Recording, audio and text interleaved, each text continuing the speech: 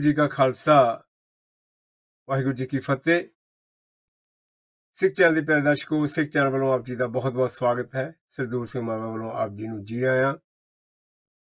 ਇਸ ਸਾਲ ਦੇ ਪਹਿਲਾ ਪ੍ਰੋਗਰਾਮ ਤੁਹਾਡੇ ਸਾਹਮਣੇ ਪੇਸ਼ ਕਰ ਰਹੇ ਹਾਂ ਔਰ ਕਾਫੀ ਦੇਰ ਤੋਂ ਬਾਅਦ ਆਪ ਦੇ ਸਨਮੁਖ ਹੋਏ ਹਾਂ। ਕਿਉਂਕਿ ਨਵੰਬਰ ਸਾਡਾ ਸਾਰਾ ਪੰਜਾਬ ਦੇ ਵਿੱਚ ਨਿਕਲ ਗਿਆ ਸੀ।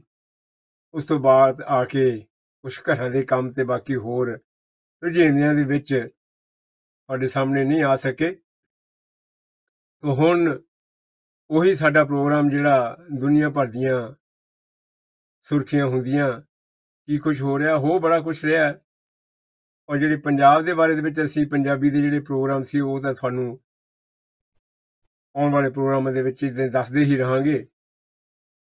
ਤੇ ਉਸ ਦੇ ਪੰਜਾਬੀ ਦੇ, ਪੰਜਾਬ ਦੇ ਵਿੱਚ ਕੀ ਹਾਲਾਤ ਨੇ ਤੇ ਦੁਨੀਆ ਦੇ ਵਿੱਚ ਕੀ ਹਾਲਾਤ ਨੇ, ਉਹ ਸਾਡਾ ਇੱਕ ਵੱਖਰਾ ਪ੍ਰੋਗਰਾਮ ਹੁੰਦਾ ਹੈ।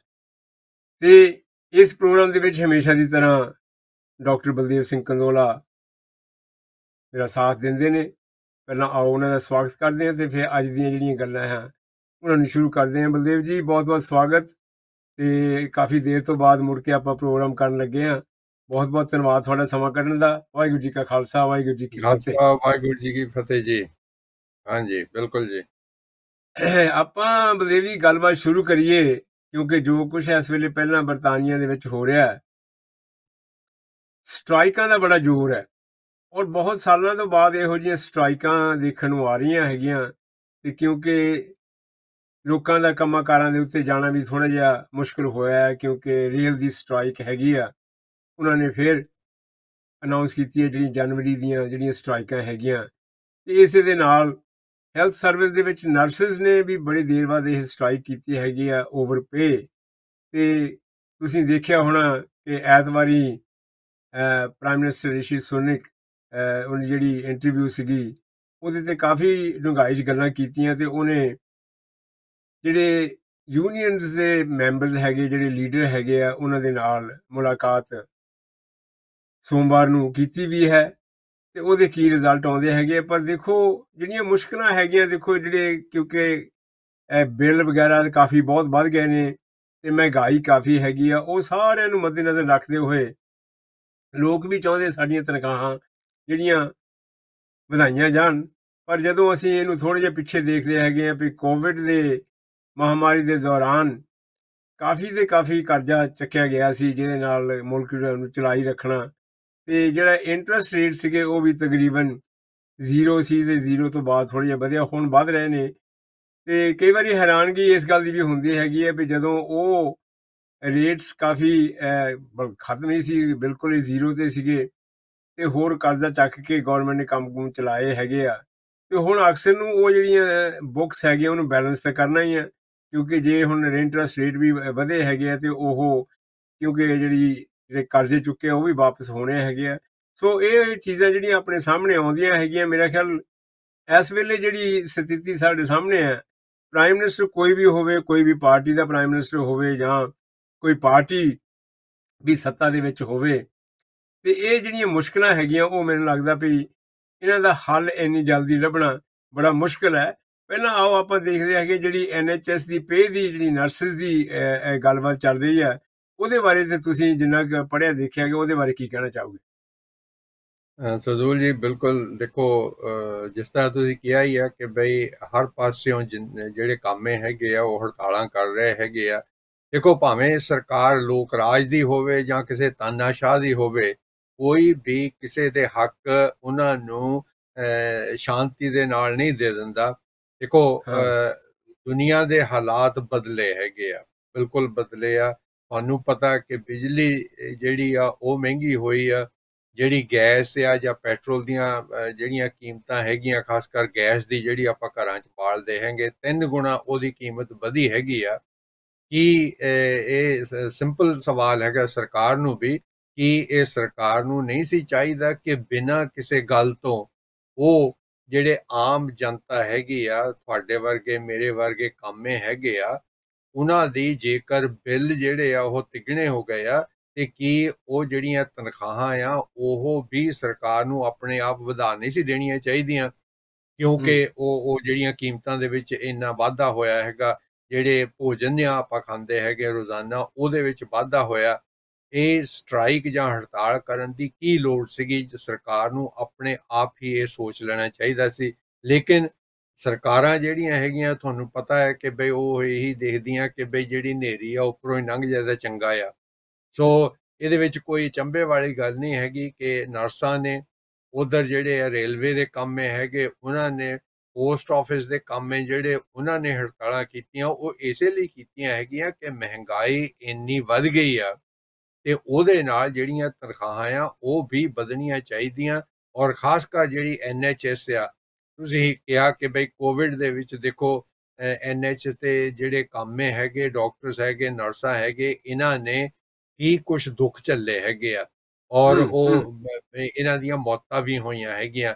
ਕਮ ਸੇ ਕਮ ਸਰਕਾਰ ਨੂੰ ਰਿਸ਼ੀ ਸੁਨਕ ਸਾਹਿਬ ਨੂੰ ਇਹ ਸੋਚ ਲੈਣਾ ਚਾਹੀਦਾ ਸੀਗਾ ਕਿ ਬਈ ਉਹਨਾਂ ਦੀਆਂ ਮੰਗਾਂ ਜਿਹੜੀਆਂ ਆ ਉਹਨਾਂ ਦਾ ਹੱਕ ਬਣਦਾ ਆ ਇਹਨਾਂ ਚੀਜ਼ਾਂ ਨੂੰ। ਤੇ ਉਹਨਾਂ ਨੂੰ ਆਪਣੇ ਆਪ ਹੀ ਬਜਾਏ ਇਹਦੇ ਕਿ ਉਹ ਹੜਤਾਲ ਹੁੰਦੀ? ਜਿਹਦੇ ਨਾਲ ਕਿ ਆਮ ਜਨਤਾ ਦਾ ਨੁਕਸਾਨ ਹੋਇਆ, ਉਹਨਾਂ ਦੀ ਤਨਖਾਹ ਜਿਹੜੀ ਸੀ ਆਪਣੇ ਆਪ ਵਧਾ ਦੇਣੀ ਚਾਹੀਦੀ ਸੀ ਔਰ ਜਿਹੜੀਆਂ ਪ੍ਰਾਈਵੇਟ ਕੰਪਨੀਆਂ ਹੈਗੀਆਂ, ਉਹਨਾਂ ਨੂੰ ਵੀ ਸਰਕਾਰ ਨੂੰ ਕਹਿਣਾ ਚਾਹੀਦਾ ਸੀ ਕਿ ਤੁਹਾਨੂੰ ਵੀ ਉਹ ਜਿਹੜੀਆਂ ਤਨਖਾਹਾਂ ਆ, ਉਸ ਹਿਸਾਬ ਦੇ ਨਾਲ ਵਧਾਉਣੀਆਂ ਚਾਹੀਦੀਆਂ। ਉਧਰ ਤੁਸੀਂ ਦੇਖ ਲਓ ਕਿ ਬੈਂਕ ਆਫ ਇੰਗਲੈਂਡ ਨੇ ਉਹ ਜਿਹੜਾ ਇੰਟਰਸਟ ਰੇਟ ਉਹ ਵਧਾਤਾ ਉਹਦੇ ਨਾਲ ਜਿਹੜੀਆਂ ਮਾਰਗੇजेस ਹੈਗੀਆਂ ਉਹ ਵੱਧ ਗਈਆਂ ਹੈਗੀਆਂ ਉਹ ਪੈਸੇ ਕਿੱਥੋਂ ਆਉਣਗੇ? ਆਮ ਜਨਤਾ ਜਿਹੜੀ ਕਿ ਸਿਰਫ ਤੇ ਸਿਰਫ ਆਪਣੀ ਨੌਕਰੀ ਦੇ ਸਹਾਰੇ ਤੇ ਪੈਸੇ ਕਮਾਉਂਦੇ ਆ ਉਹਨਾਂ ਨੂੰ ਉਹ ਪੈਸੇ ਹੋਰ ਕਿੱਥੋਂ ਆਉਣਗੇ? ਇਸ ਲਈ ਮੈਂ ਸਮਝਦਾ ਹਾਂ ਕਿ ਭਈ ਪੂਰੇ ਦਾ ਪੂਰਾ ਹੱਕ ਬਣਦਾ ਆਮ ਜਨਤਾ ਦਾ ਕਾਮਿਆਂ ਦਾ ਕਿ ਉਹ ਆਪਣੇ ਹੱਕਾਂ ਨੂੰ ਸਰਕਾਰ ਨੂੰ ਮਨਾਵੇ ਕੰਪਨੀਆਂ ਨੂੰ ਮਨਾਉਣ ਕਿਉਂਕਿ ਜਿਹੜੀ ਕੀਮਤਾਂ ਦੇ ਵਿੱਚ ਵਾਧਾ ਹੋਇਆ, ਉਹ ਆਮ ਜਨਤਾ ਦਾ ਕੋਈ ਕਸੂਰ ਨਹੀਂ ਹੈਗਾ। ਤੇ ਉਹ ਕਿਉਂਕਿ ਉਹਨਾਂ ਦਾ ਕਸੂਰ ਨਹੀਂ ਹੈਗਾ, ਇਸ ਲਈ ਉਹਨਾਂ ਦਾ ਹੱਕ ਬਣਦਾ ਕਿ ਉਹਨਾਂ ਦੀਆਂ ਤਨਖਾਹਾਂ ਦੇ ਵਿੱਚ ਵੀ ਵਾਧਾ ਕੀਤਾ ਜਾਵੇ। ਸੋ ਤੁਹਾਨੂੰ ਪਤਾ ਕਿ ਪਿਛਲੇ 1-2 ਦਿਨਾਂ ਦੇ ਵਿੱਚ ਰਿਸ਼ੀ ਸੁਨਕ ਦੇ ਨਾਲ ਜਿਹੜੀਆਂ ਯੂਨੀਅਨ ਹੈਗੀਆਂ, ਉਹਨਾਂ ਦੀਆਂ ਮੀਟਿੰਗਾਂ ਵੀ ਹੋਈਆਂ। ਉਹ ਕਹਿੰਦੇ ਆ ਕਿ ਬਈ ਸ਼ਾਇਦ ਸਰਕਾਰ ਥੋੜਾ ਜਿਹਾ ਸਮਝ ਗਈ ਹੈਗੀ ਆ ਕਿ ਬਈ ਸਾਡੀਆਂ ਜਿਹੜੀਆਂ ਮੰਗਾਂ ਹੈਗੀਆਂ, ਉਹ ਵਾਜਬ ਹੈਗੀਆਂ ਤੇ ਉਹਦਾ ਜਿਹੜਾ ਹੱਲ ਆ, ਉਹ ਛੇਤੀ ਲੱਭ ਲਿਆ ਜਾਏਗਾ ਔਰ ਇਹ ਸਰਕਾਰ ਦੇ ਕੀ ਕਹਿੰਦੇ ਹੁੰਦੇ ਆ ਉਹਨਾਂ ਦਾ ਹੱਕ ਬਣਦਾ ਕਿ ਬਈ ਉਹ ਇਸ ਸਮੱਸਿਆ ਨੂੰ ਸੁਲਝਾਉਣ ਤਾਂ ਕਿ ਜਿਹੜੀ ਖਾਸ ਕਰ ਐਨਐਚਐਸ ਦੇ ਵਿੱਚ ਆ ਜਾਂ ਈਵਨ ਰੇਲਵੇਜ਼ ਦੇ ਵਿੱਚ ਵੀ ਆਮ ਲੋਕਾਂ ਦਾ ਕਿਦਾਂ ਨੁਕਸਾਨ ਹੋ ਰਿਹਾ ਹੈਗਾ ਉਹ ਜਿਹੜੀ ਸਮੱਸਿਆ ਆ ਉਹਦਾ ਹੱਲ ਛੇਤੀ ਤੋਂ ਛੇਤੀ ਲੱਭ ਲਿਆ ਜਾਵੇ। ਜੀ। ਇਰੋਨ ਕਾਲਜ ਆਫ ਨਰਸਿੰਗ ਦੀ ਜਿਹੜੀ ਡਿਮਾਂਡ ਹੈਗੀ ਆ ਉਹ ਕਹਿੰਦੇ ਕਿ ਵੀ they should receive the pay increase 5% above the inflation ਤੇ ਉਹ ਤਕਰੀਬਨ ਬਣ ਜਾਂਦਾ ਹੈਗਾ ਵੀ 19% ਤੇ ਉਹਨਾਂ ਨੇ ਇਹ ਵੀ ਕਿਹਾ ਸੀਗਾ ਵੀ ਸੁਜੈਸਟ ਕੀਤਾ ਸੀ ਸ਼ਾਇਦ ਉਹ 10% ਤੱਕ ਇਹਨੂੰ ਮਨਜ਼ੂਰ ਕਰ ਲੈਣ। ਪਰ ਨਾਲ ਇਹਦੇ ਬਦਲੇ ਜੀ ਇੱਕ ਹੋਰ ਇੱਕ ਬਹੁਤ ਪੁਆਇੰਟ ਜਿਹੜਾ ਆ ਰਿਹਾ ਹੈਗਾ ਵੀ ਗਵਰਨਮੈਂਟ ਇਹ ਚੀਜ਼ ਨੂੰ ਸਾਰੀ ਨੂੰ ਦੇਖ ਕੇ ਜਿਹੜੇ ਨਵਾਂ ਕਾਨੂੰਨ ਲਿਆਉਣ ਦੀ ਗੱਲ ਕਰ ਰਹੇ ਆ ਕਿ ਜਿਹੜੀ ਕੋਈ ਵੀ ਹੜਤਾਲ ਹੁੰਦੀ ਹੈ ਸਟ੍ਰਾਈਕ ਹੋਵੇ ਤੇ ਮਿਨੀਮਮ ਕਵਰੇਜ ਸ਼ੁੱਡ ਬੀ ਤਾਂ ਕਿ ਚਾਹੇ ਹੁਣ ਜਿਹੜਾ ਹਸਪੀਟਲਸ ਹੈਗੇ ਆ ਜਿੱਦਾਂ ਹੁਣ ਆਪ ਐਂਬੂਲੈਂਸਸ ਹੈਗੀਆਂ ਜਾਂ ਕੋਈ ਹੋਰ ਅਦਾਰੇ ਜਿਹੜੇ ਹੈਗੇ ਆ ਵੀ minimum coverage should be there ਤੇ ਜਿੱਥੇ ਤੁਸੀਂ ਵੀ ਹੁਣੇ ਕਹਿ ਕੇ ਹਟੇ ਆ ਜਾਂ ਆਮ ਇਹ ਕਿਹਾ ਵੀ ਜਾਂਦਾ ਹੈਗਾ ਵੀ ਇਹ ਯੂਨੀਅਨਸ ਦਾ ਜਾਂ ਆਮ ਲੋਕਾਂ ਦਾ ਹੱਕ ਹੈਗਾ ਵੀ ਅਗਰ ਉਹਨਾਂ ਨੂੰ ਕਿਸੇ ਤਰੀਕੇ ਦੇ ਨਾਲ ਇਹ ਜਿਹੜੀ ਉਹਨਾਂ ਦੀ ਤਨਖਾਹਾਂ ਨਹੀਂ ਵਧਾਈਆਂ ਜਾਂਦੀਆਂ ਤਾਂ ਉਹ ਹੜਤਾਲ ਮੇਰਾ ਖਿਆਲ ਆਖਰੀ ਜ਼ਰੀਆ ਹੁੰਦਾ, ਇਹ ਤਾਂ ਕਾਨੂੰਨ ਬਣ ਚੁੱਕਾ ਹੈਗਾ ਕਿ ਉਹ ਪਹਿਲਾਂ ਉਹ ਆਪਸ ਵਿੱਚ ਹੀ ਬੈਲਟ ਕਰਨ, ਵੋਟਾਂ ਪਾਉਣ ਵੀ ਸਟ੍ਰਾਈਕ ਦੇ ਹੱਕ ਵਿੱਚ ਹੈਗੇ ਕਿ ਨਹੀਂ ਹੈਗੇ ਵੀ ਇਹ ਤਕਰੀਬਨ ਜਿੰਨੀਆਂ ਯੂਨੀਅਨਸ ਇਸ ਵੇਲੇ ਸਟ੍ਰਾਈਕ ਕਰ ਰਹੀਆਂ ਹੈਗੀਆਂ, ਉਹ ਸਾਰਿਆਂ ਨੇ ਇਹ ਹੱਕ ਦੇ ਵਿੱਚ ਵੋਟ ਹੀ ਪਾਈ ਹੈਗੀ ਪਰ ਜਿਹੜਾ ਇਹ ਕਾਨੂੰਨ ਲਿਆਉਣਾ ਚਾਹੁੰਦੇ ਆ ਮੇਰਾ ਖਿਆਲ ਵੀ ਤਕਰੀਬਨ ਇਸ ਨੂੰ ਹੋਰ ਸਕੁਈਜ਼ ਕੀਤਾ ਜਾਵੇ ਯਾਨੀ ਮਤਲਬ ਹੋਰ ਕੁੱਟਿਆ ਜਾਵੇ ਤਾਂ ਕਿ ਬਹੁਤੇ ਲੋਕ ਇਹ ਸੋਚਣ ਹੀ ਨਾ ਵੀ ਸਟ੍ਰਾਈਕ ਹੋਵੇ। ਇਹਦੇ ਬਾਰੇ ਤੁਸੀਂ ਕੀ ਕਹਿਣਾ ਚਾਹੋਗੇ? ਦੇਖੋ ਇਤੋਂ ਤਾਂ ਮੈਂ ਸਮਝਦਾ ਕਿ ਇਤੋਂ ਤੱਕ ਨੌਬਤ ਪਹੁੰਚਣੀ ਨਹੀਂ ਚਾਹੀਦੀ। ਜਿੱਦਾਂ ਮੈਂ ਪਹਿਲਾਂ ਵੀ ਕਿਹਾ ਹੈਗਾ ਕਿ ਸਰਕਾਰ ਨੂੰ ਇਹ ਖੁਦ ਰੀਅਲਾਈਜ਼ ਕਰ ਲੈਣਾ ਚਾਹੀਦਾ ਸੀ ਕਿ ਜੇਕਰ ਅੰਤਰਰਾਸ਼ਟਰ ਪੱਧਰ ਤੇ ਕੀਮਤਾਂ ਇੰਨੀਆਂ ਵਧੀਆਂ ਹੈਗੀਆਂ ਤੇ ਲੋਕਾਂ ਨੇ ਗੁਜ਼ਾਰਾ ਤਾਂ ਕਿਸੇ ਨਾ ਕਿਸ ਤਰ੍ਹਾਂ ਕਰਨਾ ਹੀ ਆ, ਉਹਨਾਂ ਨੂੰ ਸਟ੍ਰਾਈਕ ਤੋਂ ਪਹਿਲਾਂ ਹੀ ਇਹਦੇ ਬਾਰੇ ਯੂਨੀਅਨਸ ਦੇ ਨਾਲ ਗੱਲਬਾਤ ਕਰ ਲੈਣੀ ਚਾਹੀਦੀ ਸੀ ਕਿ ਦੇਖੋ ਬਈ ਸਮਾਂ, ਮੈਂ ਇਹ ਸਮਝਦਾ ਕਿ ਸਟ੍ਰਾਈਕ ਤੋਂ ਪਹਿਲਾਂ ਜੇ ਗੱਲ ਕਰ ਲਈ ਜਾਵੇ, ਉਹਦੇ ਵਿੱਚ ਦੋਹਾਂ ਧਿਰਾਂ ਦਾ ਹੀ ਫਾਇਦਾ ਹੋ ਸਕਦਾ ਆ। ਕਿ ਜਿਹੜੇ ਜਿਹੜੇ ਜਿਸ ਤਰ੍ਹਾਂ ਹੁਣ ਨਰਸਾਂ ਨੇ 19% ਆਪਣੀ ਤਨਖਾਹ 'ਚ ਵਾਧਾ ਜਿਹੜਾ ਉਹ ਮੰਗ ਰਹੇ ਹੈਗੇ ਆ। ਜੇਕਰ ਸਰਕਾਰ ਇਮਾਨਦਾਰੀ ਦੇ ਨਾਲ ਉਹਨਾਂ ਲੋਕਾਂ ਨੂੰ ਸਮਝਾਵੇ ਵੀ ਦੇਖੋ ਜਿਹੜੀ ਜਿਹੜੀ ਹੈਗੀ ਆ ਵਿੱਤੀ ਹਾਲਤ ਹੈਗੀ ਆ, ਦੇਸ਼ ਦੀ ਆ ਹੈਗੀ ਆ ਇਹ, ਇੰਨੀਆਂ ਮੁਸ਼ਕਲਾਂ ਸਰਕਾਰ ਨੂੰ ਹੈਗੀਆਂ। ਇਸ ਲਈ ਸਰਕਾਰ ਦੇ ਕੋਲ ਸਿਰਫ ਤੇ ਸਿਰਫ ਇੰਨੇ ਪਰਸੈਂਟ ਦਾ ਵਾਧਾ ਕਰਨ ਦੀ ਗੁੰਜਾਇਸ਼ ਹੈਗੀ ਆ, ਉਹ ਤੋਂ ਜ਼ਿਆਦਾ ਅਸੀਂ ਨਹੀਂ ਕਰ ਸਕਦੇ ਕਿਉਂਕਿ ਉਹਦੇ ਨਾਲ ਉਹਨਾਂ ਨੂੰ ਦੱਸ ਦੇਣਾ ਚਾਹੀਦਾ ਸੀਗਾ ਕਿ ਉਹਦੇ ਨਾਲ ਹੋਰ ਇਨਫਲੇਸ਼ਨ ਵਧੇਗੀ, ਉਹਦੇ ਨਾਲ ਹੋਰ ਕੀਮਤਾਂ ਵਧਣਗੀਆਂ। ਇਸ ਲਈ ਉਹਨੂੰ ਜਿਸ ਤਰ੍ਹਾਂ ਰਿਸ਼ੀ ਕਹਿ ਹੀ ਰਹੇ ਹੈ ਕਿ ਮੈਂ ਇਨਫਲੇਸ਼ਨ ਦੇ ਉੱਤੇ ਕੰਟਰੋਲ ਪਾਉਣਾ ਚਾਹੁੰਦਾ, ਤੇ ਉਹਨੂੰ ਕਹਿ ਦੇਣਾ ਚਾਹੀਦਾ ਸੀ ਸਪਸ਼ਟ ਦੱਸ ਦੇਣਾ ਚਾਹੀਦਾ ਸੀ ਵੀ ਇਸ ਤਰੀਕੇ ਦੇ ਨਾਲ ਆਪਾਂ ਜਿਹੜੀ ਇਨਫਲੇਸ਼ਨ ਆ, ਉਹਦੇ ਤੇ ਕੰਟਰੋਲ ਕਰ ਸਕਦੇ ਆ ਥੋੜਾ ਜਿਹਾ ਤੁਸੀਂ ਵੀ ਇਹ ਜਿਹੜੀ ਮਹਿੰਗਾਈ ਆ ਸਹਾਰੋ ਤੇ ਥੋੜਾ ਜਿਹਾ ਜਿਹੜੀ ਸਰਕਾਰ ਆ, ਉਹ ਵੀ ਆਪਣੇ ਵੱਲੋਂ ਕੁਝ ਨਾ ਕੁਝ ਕਰਨ ਦੀ ਕੋਸ਼ਿਸ਼ ਕਰੇਗੀ ਤੇ ਸਟ੍ਰਾਈਕ ਤੱਕ ਗੱਲ ਪਹੁੰਚਣੀ ਨਹੀਂ ਸੀਗੀ। ਫਿਰ ਉਹਨਾਂ ਨੂੰ ਜਿਹੜਾ ਡਰਾਉਣਾ ਹੈਗਾ ਆ ਸਰਕਾਰ ਵੱਲੋਂ ਕਿ ਬਈ ਅਸੀਂ ਲੈਜਿਸਲੇਸ਼ਨ ਲੈ ਕੇ ਆਵਾਂਗੇ ਤੇ ਵਗੈਰਾ ਵਗੈਰਾ, ਮੇਰਾ ਖਿਆਲ ਨਹੀਂ ਹੈ ਇਸ ਤਰ੍ਹਾਂ ਦੀ ਜਿਹੜੀਆਂ ਧਮਕੀਆਂ ਦੇਣੀਆਂ, ਉਹ ਨਾ ਸਰਕਾਰ ਲਈ ਚੰਗਾ, ਨਾ ਦੇਸ਼ ਲਈ ਚੰਗਾ ਤੇ ਨਾ ਜਿਹੜੇ ਵਰਕਰ ਹੈਗੇ ਆ, ਉਹਨਾਂ ਦੇ ਚੰਗਾ। ਇੱਥੋਂ ਤੱਕ ਨੌਬਤ ਜਿਹੜੀ ਆ ਪਹੁੰਚਣੀ ਹੀ ਨਹੀਂ ਸੀ ਚਾਹੀਦੀ। ਹਾਂਜੀ। ਤੇ ਜਿਹੜੀ ਉਹਨਾਂ ਦੀ ਉਹ ਐਤਵਾਰ ਦੀ ਇੰਟਰਵਿਊ ਦੇ ਬਹੁਤ ਆਪਾਂ ਗੱਲ ਕਰਦੇ ਆ ਜਦੋਂ ਜਿਹੜੀ ਉਹ ਰਿਪੋਰਟਰ ਸੀਗੀ, ਉਹਨੇ ਪੁੱਛਿਆ ਸੀਗਾ ਕਿ ਤੁਸੀਂ ਕੀ ਤੁਹਾਡਾ ਡਾਕਟਰ ਜਾਂ ਜਿਹੜੀ ਹੈਲਥ ਉਹ ਪ੍ਰਾਈਵੇਟ ਵਰਤਦੇ ਆ? ਵੀ ਉਹਦਾ ਮੇਰੇ ਖਿਆਲ ਉਹਨੇ ਜਵਾਬ ਨਹੀਂ ਸੀ ਦਿੱਤਾ। ਤੇ ਕੀ ਇਹ ਸਵਾਲ ਵਾਜਿਬ ਵੀ ਹੈ ਕਿ ਅਗਰ ਉਹ ਕਿਸੇ ਨੇ ਵੀ ਹੈਲਥ ਆਪਣੀ ਪ੍ਰਾਈਵੇਟਲੀ ਜਾਂ ਕਿਸੇ ਦੀ ਹੈਗੀ ਹੈ ਕੀ ਇਹ ਪਬਲਿਕ ਕੰਸਰਨ ਹੋਣਾ ਚਾਹੀਦਾ? ਜਿਹੜਾ ਉਹਦਾ ਜਵਾਬ ਸੀ ਵੀ ਉਹਦਾ ਰਿਸ਼ੀ ਸੁਨਕ ਦਾ ਜਿਹੜਾ ਪਿਤਾ ਹੈ, ਉਹ ਜੀਪੀ ਆ ਜਨਰਲ ਪ੍ਰੈਕਟਿਸ ਡਾਕਟਰ ਹੈ, ਉਹਦੀ ਮਦਰ ਜਿਹੜੀ ਉਹ ਫਾਰਮ ਸੀਗੀ, ਸੋ ਕਹਿੰਦਾ ਵੀ ਐਨਐਚਐਸ ਜਾਂ ਮਤਲਬ ਮੈਡੀਕਲ ਫੈਮਿਲੀ ਦੇ ਵਿੱਚੋਂ ਹੀ ਇਹ ਮਤਲਬ ਆਇਆ ਹੈਗਾ ਅੱਗੇ। ਤੇ ਕੀ ਇਹ ਤੁਸੀਂ ਸਮਝਦੇ ਆ? ਕਿ ਇਹ ਸਵਾਲ ਵਾਜਿਬ ਸੀ ਤੇ ਕੀ ਉਹਨੂੰ ਇਹ ਦੱਸਣਾ ਚਾਹੀਦਾ ਹੈਗਾ ਕਿ ਮੈਂ ਪ੍ਰਾਈਵੇਟ ਵਰਦਰ ਕਿਦਾਂ, ਕਿ ਇਹ ਇੱਕ ਪਰਸਨਲ ਗੱਲ ਨਹੀਂ ਹੋ ਜਾਂਦੀ ਕਿ ਹਾਂ ਵੀ whoever takes whatever medical care ਇਸ ਇਸ ਪਬਲਿਕ ਕਨਸਰਨ ਹੁੰਦਾ ਇਹ ਕਿ, ਤੁਸੀਂ ਇਹਦੇ ਬਾਰੇ ਕੀ ਕਹੋਗੇ? ਬਿਲਕੁਲ ਸਦੂਲ ਜੀ, ਦੇਖੋ ਜਿਹੜੀ ਪਬਲਿਕ ਫਿਗਰ ਹੁੰਦੇ ਆ ਰਿਸ਼ੀ ਸੁਨੈਕ ਨੂੰ ਕਿਸੇ ਨੇ ਮਜਬੂਰੀ ਨਾਲ ਪ੍ਰਾਈਮ ਮਿਨਿਸਟਰ ਨਹੀਂ ਬਣਾਇਆ ਹੈਗਾ। ਉਹਨਾਂ ਦੀ ਆਪਣੀ ਚੋਇਸ ਸੀ ਕਿ ਉਹ ਪਬਲਿਕ ਫਿਗਰ ਬਣਨਾ ਚਾਹੁੰਦੇ ਹੈਗੇ ਆ। ਮਤਲਬ ਕਿ ਉਹ ਲੋਕਾਂ ਦੇ ਨੁਮਾਇੰਦੇ ਬਣਨਾ ਚਾਹੁੰਦੇ, ਲੋਕਾਂ ਦੇ ਲੀਡਰ ਬਣਨਾ ਚਾਹੁੰਦੇ ਆ। ਇਸ ਲਈ ਕਿਉਂਕਿ ਉਹ ਲੋਕਾਂ ਦੇ ਲੀਡਰ ਬਣਨਾ ਚਾਹੁੰਦੇ ਆ, ਲੋਕਾਂ ਨੂੰ ਪੂਰੇ ਦਾ ਪੂਰਾ ਹੱਕ ਹੈਗਾ ਕਿ ਬਈ ਉਹ ਉਹ ਉਹ ਉਹ ਜਿਹੜਾ ਆਪਣਾ ਘਰ ਦਾ ਗੁਜ਼ਾਰਾ ਆ, ਉਹ ਕਿਸ ਤਰ੍ਹਾਂ ਕਰਦਾ ਹੈਗਾ। ਜੇਕਰ ਉਹ ਐਨਐਚਐਸ ਦੇ ਮੈਂਬਰ ਨਹੀਂ ਹੈਗੇ, ਤੇ ਇਹਦਾ ਮਤਲਬ ਇਹ ਹੋਇਆ ਕਿ ਬਈ ਉਹ ਉਸ ਨੂੰ ਸਾਡੇ ਜਿਹੜਾ ਪ੍ਰਧਾਨ ਮੰਤਰੀ ਆ, ਉਹਨੂੰ ਜਿਹੜੀਆਂ ਐਨਐਚਐਸ ਦੀਆਂ ਸਮੱਸਿਆਵਾਂ ਬਾਰੇ ਕੋਈ ਲਗਾ ਨਹੀਂ ਹੈਗਾ। ਕਿ ਕਿਉਂਕਿ ਉਹਦੇ ਉਹਦੇ ਤੇ ਤਾਂ ਕੋਈ ਫ਼ਰਕ ਨਹੀਂ ਪੈਂਦਾ, ਕਿਉਂਕਿ ਉਹਨੇ ਤਾਂ ਆਪਣੀ, ਜੇਕਰ ਉਹਨੇ ਆਪਣਾ ਪ੍ਰਾਈਵੇਟ ਜੀਪੀ ਰੱਖਿਆ ਹੈਗਾ, ਤੇ ਇਸ ਲਈ ਆਮ ਜਨਤਾ ਨੂੰ ਤੁਹਾਡੇ ਵਰਗਿਆਂ ਨੂੰ, ਸਾਡੇ ਵਰਗਿਆਂ ਨੂੰ ਇਹ ਹੱਕ ਬਣਦਾ ਕਿ ਅਸੀਂ ਆਪਣੇ ਆਗੂ ਤੋਂ ਇਹ ਪੁੱਛੀਏ ਕਿ ਕੀ ਜਿਸ ਸਮੱਸਿਆ ਦੇ ਵਿੱਚ ਆਮ ਜਨਤਾ ਫਸੀ ਹੋਈ ਆ ਕਿ ਕੀ ਉਹਦਾ ਅਸਰ ਤੁਹਾਡੇ ਤੇ ਵੀ ਹੁੰਦਾ ਆ ਜਾਂ ਕਿ ਤੁਸੀਂ ਕੋਈ ਪਰਵਾਹ ਨਹੀਂ ਕਰਦੇ ਕਿ ਕੀ ਹੁੰਦਾ? ਕਿਉਂਕਿ ਮੈਂ ਤਾਂ ਆਪਣਾ ਪ੍ਰਾਈਵੇਟ ਜਿਹੜਾ ਆ ਡਾਕਟਰ ਰੱਖਿਆ ਹੈਗਾ, ਕਿਉਂਕਿ ਮੇਰੇ ਤੇ ਐਨਐਚਐਸ ਦਾ ਕੋਈ ਅਸਰ ਨਹੀਂ ਹੁੰਦਾ। ਇਸ ਲਈ ਮੈਨੂੰ ਕੋਈ ਪਰਵਾਹ ਨਹੀਂ ਹੈਗੀ ਕਿ ਬਈ ਐਨਐਚਐਸ ਦੀ ਜਿਹੜੀ ਸਿਚੁਏਸ਼ਨ ਆ, ਉਹ ਕਿਹੋ ਜਿਹੀ ਹੁੰਦੀ ਆ। ਸੋ ਮੈਂ ਸਮਝਦਾ ਕਿ ਜੇਕਰ ਕੋਈ ਵਿਅਕਤੀ ਆਪਣੇ ਆਪ ਨੂੰ ਜਨਤਾ ਦਾ ਲੀਡਰ ਬਣਾਉਣਾ ਚਾਹੁੰਦਾ, ਜਿਸ ਤਰ੍ਹਾਂ ਪ੍ਰਧਾਨ ਮੰਤਰੀ ਹੈਗੇ ਜਾਂ ਹੋਰ ਮੰਤਰੀ ਹੈਗੇ ਆ, ਤੇ ਜਨਤਾ ਨੂੰ ਪੂਰੇ ਦਾ ਪੂਰਾ ਹੱਕ ਆ ਕਿ ਬਈ ਉਹਦੇ ਬਾਰੇ ਉਹ ਪੁੱਛਣ ਕਿ ਬਈ ਕੀ ਇਹਨਾਂ ਚੀਜ਼ਾਂ ਦਾ ਜਿਹੜਾ ਅਸਰ ਆ, ਉਹ ਤੇਰੇ ਤੇ ਜਾਂ ਤੇਰੇ ਪਰਿਵਾਰ ਤੇ ਵੀ ਪੈਂਦਾ, ਜਿਸ ਤਰ੍ਹਾਂ ਕਿ ਆਮ ਜਨਤਾ ਦੇ ਪਰਿਵਾਰ ਤੇ, ਆਮ ਜਨਤਾ ਦੇ ਉੱਤੇ ਉਹਨਾਂ ਚੀਜ਼ਾਂ ਦਾ ਅਸਰ ਪੈਂਦਾ। ਨਹੀਂ ਤਾਂ ਉਹ ਬੇਪਰਵਾਹ ਹੋ ਜਾਂਦੇ ਆ ਕਿ ਬਈ ਮੇਰੇ ਤੇ ਤਾਂ ਕੋਈ ਅਸਰ ਨਹੀਂ ਹੁੰਦਾ। ਇਸ ਲਈ ਮੈਨੂੰ ਕੀ ਫ਼ਰਕ ਪੈਂਦਾ ਕਿ ਬਈ ਮੈਂ ਅੜ ਜਾਂਦਾ ਕਿ ਬਈ ਅਸੀਂ ਤਨਖਾਹਾਂ ਨਹੀਂ ਵਧਾਵਾਂਗੇ। ਇਸ ਲਈ ਮੈਂ ਸਮਝਦਾ ਕਿ ਬਿਲਕੁਲ ਵਾਜਬ ਆ ਤੇ ਇਹਨਾਂ ਨੂੰ ਜਵਾਬ ਵੀ ਦੇਣਾ ਚਾਹੀਦਾ ਸੀ। ਇਹਦੇ ਵਿੱਚ ਕੋਈ ਵੱਡੀ ਗੱਲ ਨਹੀਂ ਹੈਗੀ ਕਿ ਉਹ ਸਿੱਧਾ ਸਾਦਾ ਇਮਾਨਦਾਰੀ ਦੇ ਨਾਲ ਜਵਾਬ ਦੇ ਦਿੰਦੇ ਕਿ ਹਾਂ ਜੀ, ਮੇਰਾ ਪ੍ਰਾਈਵੇਟ ਜੀਪੀ ਹੈਗਾ ਤੇ ਉਹਦੇ ਉਹਦੇ ਨਾਲ ਉਹਨੂੰ ਛਪਾਉਣ ਦੀ ਕੀ ਲੋੜ ਆ? ਜੇਕਰ ਨਹੀਂ ਹੈਗਾ ਤਾਂ ਵੀ ਉਹ ਕਹਿ ਸਕਦੇ ਕਿ ਹਾਂ ਜੀ, ਜਿੱਦਾਂ ਬੋਰਿਸ ਜੌਨਸਨ ਸੀਗਾ ਉਹ ਕਹਿੰਦਾ ਸੀਗਾ ਕਿ ਮੈਂ ਵੀ ਨੈਸ਼ਨਲ ਹੈਲਥ ਸਰਵਿਸ ਦੀਆਂ ਸੇਵਾਵਾਂ ਹੀ ਲੈਂਦਾ ਹੈਗਾ। ਭਾਵੇਂ ਉਹਦਾ ਇਹ ਨਹੀਂ ਪਤਾ ਕਿ ਉਹਦਾ ਪ੍ਰਾਈਵੇਟ ਜੀਪੀ ਸੀਗਾ ਜਾਂ ਨਹੀਂ ਸੀਗਾ ਐਟ ਲੀਸਟ ਜਦੋਂ ਉਹਨੂੰ ਕੋਵਿਡ ਵੀ ਹੋਇਆ ਹੈਗਾ ਉਹ ਨੈਸ਼ਨਲ ਹੈਲਥ ਸਰਵਿਸ ਦੇ ਹਸਪੀਟਲ ਤੋਂ ਹੀ ਟ੍ਰੀਟਮੈਂਟ ਲਈ ਸੀ।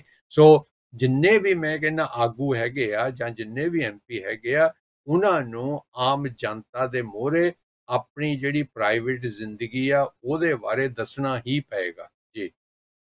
ਕਿਉਂਕਿ ਜਿਹੜੀ ਨਰਸਿੰਗ ਯੂਨੀਅਨ ਦੇ ਲੀਡਰ ਹੈਗੇ ਆ ਨਾ ਪੈਟ ਕਲਨ ਉਹਨੇ ਵੀ ਮਤਲਬ ਇਹੀ ਗੱਲ ਜਿਹੜੀ ਤੁਸੀਂ ਕਹਿ ਰਹੇ ਹੈਗੇ ਇਹ ਕਿਹਾ ਸੀਗਾ ਕਿ he should come clean and he is a public servant ਤੇ ਜਿਹੜੀ ਦੂਸਰੇ ਪਾਸੇ ਉਹਨੇ ਜਿਹੜਾ ਜਵਾਬ ਦਿੱਤਾ ਸੀ it is not really relevant ਤੇ ਕਹਿੰਦਾ ਇਟਸ ਅ ਪਰਸਨਲ ਚੋਇਸ ਖੈਰ ਦੇਖੋ ਜੀ ਇਹਦਾ ਜਿਹੜੇ ਸਵਾਲ ਹੈਗੇ ਉਹ ਪ੍ਰਾਈਮ ਮਿਨਿਸਟਰ ਨੂੰ ਕੀਤੇ ਜਿਹੜੀ ਜਿਹੜੀ ਐਜ਼ ਅ ਪਬਲਿਕ ਸਰਵੈਂਟ ਦੀ ਜਿਹੜੀ ਤੁਸੀਂ ਇਹ ਗੱਲ ਕਰ ਰਹੇ ਹੈਗੇ ਪਰ ਜਿਹਦੇ ਨਾਲ ਉਹਨੇ ਇਹ ਜ਼ਰੂਰ ਕਿਹਾ ਸੀਗਾ ਵੀ ਹਰ ਇੱਕ ਇਨਸਾਨ ਨੂੰ ਇਹ ਉਹਦਾ ਰਾਈਟ ਹੈ ਤੇ ਉਹਦੀ ਜਿਹੜੀ ਡਾਕਟਰ ਦੀ ਅਪਾਇੰਟਮੈਂਟ ਹੈ, ਉਹ ਜਲਦੀ ਤੋਂ ਜਲਦੀ ਮਿਲਣੀ ਚਾਹੀਦੀ ਹੈ, ਕਿਉਂਕਿ ਇਹ ਜਿੰਨਾ ਕੀ ਡਿਸਰਪਸ਼ਨ ਹੋ ਰਹੀ ਹੈ, ਜਿੰਨਾ ਵੀ ਇਸ ਵੇਲੇ ਸਟ੍ਰਾਈਕਾਂ ਕਰਕੇ, ਹੜਤਾਲਾਂ ਕਰਕੇ, ਲੋਕਾਂ ਦੇ ਲਈ ਵੀ, ਕਿਉਂਕਿ ਜਿੱਥੇ ਹੁਣ ਦੇਖੋ ਜਿਹੜੀਆਂ ਐਂਬੂਲੈਂਸਸ ਹੈ, ਕਿ ਕੱਲ ਮੇਰੇ ਖਿਆਲ ਇੱਕ ਖਬਰ ਇਹ ਵੀ ਸੀ ਕਿ ਇੱਕ 12 ਘੰਟੇ ਤਕਰੀਬਨ ਐਂਬੂਲੈਂਸ ਦੀ ਜਿਹੜੀ ਸਰਵਿਸ ਸੀਗੀ ਉਹ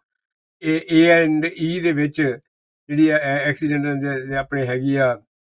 ਡਿਪਾਰਟਮੈਂਟ ਉੱਥੇ ਮਤਲਬ ਇੰਨਾ ਵੱਡਾ ਕਿਊ ਲੱਗਾ ਹੋਇਆ ਸੀਗਾ ਤੇ ਤਾਂ ਕਿ ਜੇ ਹੁਣ ਇਹੋ ਜੀ ਸਿਚੁਏਸ਼ਨ ਹੋਵੇ ਤੇ ਇੰਨੀ ਜਲਦੀ ਜਿਹੜੀ ਉਹਨਾਂ ਦੀ ਟ੍ਰੀਟਮੈਂਟ ਨਾ ਮਿਲਦੀ ਹੋਵੇ ਇਸ ਸਟ੍ਰਾਈਕਾਂ ਜਿਹੜੀਆਂ ਕਿਸੇ ਵੀ ਦੇਖੋ ਜਿਹੜੇ ਵਰਕਰ ਹੈ ਉਹ ਤਾਂ ਕਰਦੇ ਕਰਦੇ ਹੈਗੇ ਪਰ ਜਿਹੜੀ ਸਟ੍ਰਾਈਕਸ ਹੈਗੀਆਂ ਜਿਹੜੇ ਆਮ ਪਬਲਿਕ ਦੇ ਉੱਤੇ ਉਹਦਾ ਜਿਹੜਾ ਅਸਰ ਪੈਂਦਾ ਹੈਗਾ।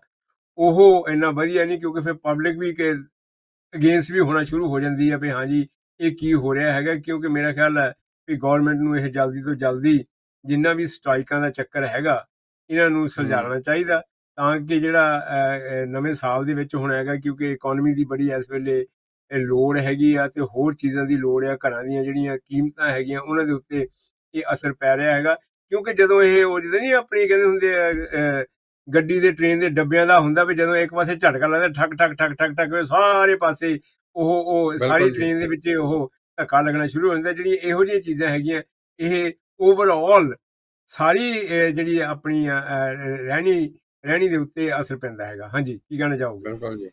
ਹਾਂਜੀ ਹਾਂਜੀ ਬਿਲਕੁਲ ਅਸਰ ਪੈਂਦਾ ਜੀ। ਦੇਖੋ ਜਿਹੜੀਆਂ ਜਿਹੜੀਆਂ ਹੁਣ ਹੜਤਾਲਾਂ ਹੁੰਦੀਆਂ ਉਹਨਾਂ ਦਾ ਨੁਕਸਾਨ ਤਾਂ ਦੇਸ਼ ਨੂੰ ਹੁੰਦਾ ਹੀ ਹੁੰਦਾ ਆ ਔਰ ਉਹਦਾ ਅਸਰ ਸਾਡੇ ਤੇ ਵੀ ਪਊਗਾ। ਜੇਕਰ ਉਹ ਨੈਸ਼ਨਲ ਹੈਲਥ ਸਰਵਿਸ ਦੀ ਡਿਸਟਰਪਸ਼ਨ ਹੁੰਦੀ ਆ, ਲੋਕਾਂ ਨੂੰ ਟ੍ਰੀਟਮੈਂਟ ਨਹੀਂ ਮਿਲਦੀ ਹੈਗੀ। ਜੇਕਰ ਉਸ ਟ੍ਰੀਟਮੈਂਟ ਨੂੰ ਲੋਕਾਂ ਦੀ ਭਾਰੀ ਗਿਣਤੀ ਦੇ ਵਿੱਚ ਸਥਗਿਤ ਕਰ ਦਿੱਤਾ ਜਾਂਦਾ, ਉਹਨਾਂ ਦਾ ਅਸਰ ਸਾਡੇ ਤੇ ਵੀ ਪੈਣਾ। ਜੇਕਰ ਰੇਲਵੇ ਦੇ ਵਰਕਰ ਜਿਹੜੇ ਉਹ ਸਟ੍ਰਾਈਕ ਕਰਦੇ ਆ ਤੇ ਜਿਨ੍ਹਾਂ ਨੇ ਕੰਮਾਂ ਤੇ ਪਹੁੰਚਣਾ, ਉਹਨਾਂ ਦਾ ਅਸਰ ਪੈਂਦਾ ਪੈਂਦਾ ਹੀ ਹੈਗਾ। ਇਸ ਲਈ ਬਿਹਤਰ ਇਹੀ ਆ ਕਿ ਕਿ ਦੇਖੋ, ਇੱਕ ਦੇਸ਼ ਦੇ ਆਗੂ ਦਾ ਇਹ ਬਹੁਤ ਵੱਡੀ ਜ਼ਿੰਮੇਵਾਰੀ ਬਣ ਜਾਂਦੀ ਆ।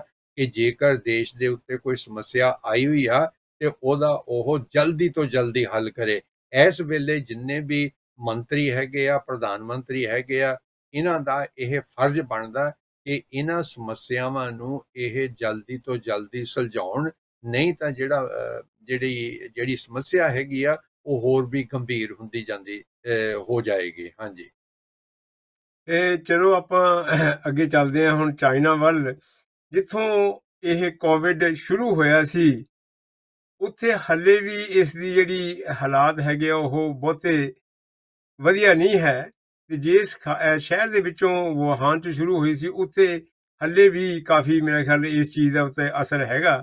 ਪਰ ਹੁਣੇ ਹੁਣੇ ਉਹਨਾਂ ਨੇ ਆਪਣੇ ਬਾਰਡਰ ਜਿਹੜੇ ਆ, ਉਹ ਖੋਲ ਦਿੱਤੇ ਆ ਕਿ ਜਿਹੜੀ ਉਹ ਟਰੈਵਲਿੰਗ ਹੈਗੀ ਆ ਆਉਣੀ ਆਵਾਜਾਈ ਜਿਹੜੀ ਉਹ ਚੰਗੀ ਤਰ੍ਹਾਂ ਫਿਰ ਚਾਲੂ ਹੋ ਜਾਵੇ, ਕਿਉਂਕਿ ਤੁਹਾਨੂੰ ਹਾਲੇ ਵੀ ਪਤਾ ਹੋਣਾ, ਕਿਉਂਕਿ ਆਪਾਂ ਵੀ ਜਦੋਂ ਹੁਣ ਗਏ ਆ ਪੰਜਾਬ, ਫਿਰ ਵੀ ਉੱਥੇ ਆਪਾਂ ਨੂੰ ਇਥੋਂ ਟੀਕਿਆਂ ਦੀ ਜਿਹੜੀ ਜਿਹੜੇ ਲੱਗੇ ਹੋਏ ਟੀਕੇ ਆ, ਉਹਦੀ ਜਿਹੜੀ ਐਨਐਚਐਸ ਤੋਂ ਲੈਟਰ ਲੈ ਕੇ ਆਪਣੇ ਆਪ ਪ੍ਰਿੰਟ ਹੋ ਜਾਂਦੀ ਆ, ਉਹ ਲੈ ਕੇ ਉੱਥੇ ਦਿਖਾਉਣੀ ਚਾਹੀਦੀ ਹੈ, ਕਿਉਂਕਿ ਉਹ ਮੰਗ ਕਰਦੇ ਇਸ ਚੀਜ਼ ਦੀ। ਇਸੇ ਤਰ੍ਹਾਂ ਚੀਨ ਤੇ ਇਸੇ ਤਰ੍ਹਾਂ ਹੋਰ ਪਾਸੇ, ਪਰ ਹੁਣ ਉਹਨਾਂ ਨੇ ਇਹ ਜਿਹੜੇ ਬਾਰਡਰ ਜਿਹੜੇ ਹੈਗੇ ਆ, ਇਹ ਖੋਲੇ ਹੈਗੇ ਤਕਰੀਬਨ 2020 ਤੋਂ ਬਾਅਦ ਹੁਣ ਇੰਨੀ ਜਲਦੀ ਇਹ ਸਾਰਾ ਸਾਰਾ ਜਿਹੜਾ ਉਹਨਾਂ ਦੇ ਬਾਰਡਰ ਹੈਗੇ ਹੋ ਸਕਦਾ ਇਹ ਇੰਨੀ ਜਲਦੀ ਹਲੇ ਨਾ ਇਹ ਚੱਲ ਸਕੇ, ਕਿਉਂਕਿ ਹਾਂਗਕਾਂਗ ਤੋਂ ਵੀ ਜਿਹੜੇ ਚਾਈਨਾ ਦੇ ਵਿੱਚ ਲੋਕ ਜਾਂਦੇ ਉਹਨਾਂ ਤੇ ਵੀ ਪਾਬੰਦੀ ਸੀਗੀ, ਤਕਰੀਬਨ ਹਾਫ ਮਿਲੀਅਨ ਲੋਕ ਉਹ ਵੀ ਉੱਥੇ ਵਾਪਸ ਉਧਰ ਜਾਣਾ ਚਾਹੁੰਦੇ ਹੈਗੇ ਆ। ਕੀ ਇਹਦੇ ਨਾਲ ਚਾਈਨਾ ਦੀ ਇਹ ਜਿਹੜੇ ਬਾਰਡਰ ਖੋਲਣ ਦੇ ਨਾਲ ਇਹ ਕੀ ਅਸਰ ਪਵੇਗਾ ਦੁਨੀਆ ਦੇ ਉੱਤੇ ਬੰਦੇ ਜੀ ਸਦੂਲ ਜੀ ਕੁਝ ਅਜੀਬ ਜਿਹਾ ਲੱਗ ਰਿਹਾ ਕਿ ਚੀਨ ਦੇ ਵਿੱਚ ਹੋ ਕੀ ਰਿਹਾ ਹੈਗਾ। ਦੇਖੋ, ਤੁਸੀਂ ਜਿਸ ਤਰ੍ਹਾਂ ਸਹੀ ਕਿਹਾ ਕਿ ਬਈ ਇਹ ਜਿਹੜੀ ਬਿਮਾਰੀ ਹੈ ਸ਼ੁਰੂ ਹੀ ਉੱਥੋਂ ਹੋਈ ਸੀ ਤੇ ਉਹ 2-3 ਸਾਲ ਪਹਿਲਾਂ। ਲੇਕਿਨ ਉਹਨਾਂ ਨੇ ਚੀਨ ਦੀ ਸਰਕਾਰ ਨੇ ਹਰ ਵੇਲੇ ਇਹੀ ਕਿਹਾ ਸੀ ਕਿ ਉਹਨਾਂ ਦੀ ਜ਼ੀਰੋ ਟੋਲਰੈਂਸ ਹੈਗੀ ਆ ਕਿ ਭਈ ਉਹ ਇਸ ਬਿਮਾਰੀ ਨੂੰ ਆਪਣੇ ਦੇਸ਼ ਦੇ ਵਿੱਚ ਜਾਂ ਇੱਕ ਸ਼ਹਿਰ ਤੋਂ ਦੂਸਰੇ ਸ਼ਹਿਰ ਦੇ ਵਿੱਚ ਉਹਨੂੰ ਫੈਲਣ ਨਹੀਂ ਦੇਣਗੇ ਤੇ ਸਭ ਤੋਂ ਪਹਿਲਾਂ ਜਿਹੜੀ ਤਾਲਾਬੰਦੀ ਸੀ ਬਹੁਤ ਵੱਡੇ ਪੈਮਾਨੇ ਤੇ ਉਹਨਾਂ ਨੇ ਕੀਤੀ ਸੀ। ਵੱਡੇ ਵੱਡੇ ਸ਼ਹਿਰ ਇੱਕਦਮ ਬੰਦ ਕਰ ਦਿੱਤੇ ਸੀਗੇ। ਸੋ ਪਿਛਲੇ 3 ਸਾਲਾਂ ਤੋਂ ਉਥੋਂ ਦੀ ਜਨਤਾ ਵੀ ਉਹ ਜਿਹੜੇ ਤਾਲਾਬੰਦੀ ਕੀਤੀ ਆ ਲੋਕਾਂ ਨੂੰ ਘਰਾਂ ਦੇ ਵਿੱਚ ਤਾੜਿਆ ਹੈਗਾ ਉਹਦੇ ਤੋਂ ਲੋਕ ਅੱਕ ਚੁੱਕੇ ਹੈਗੇ ਆ।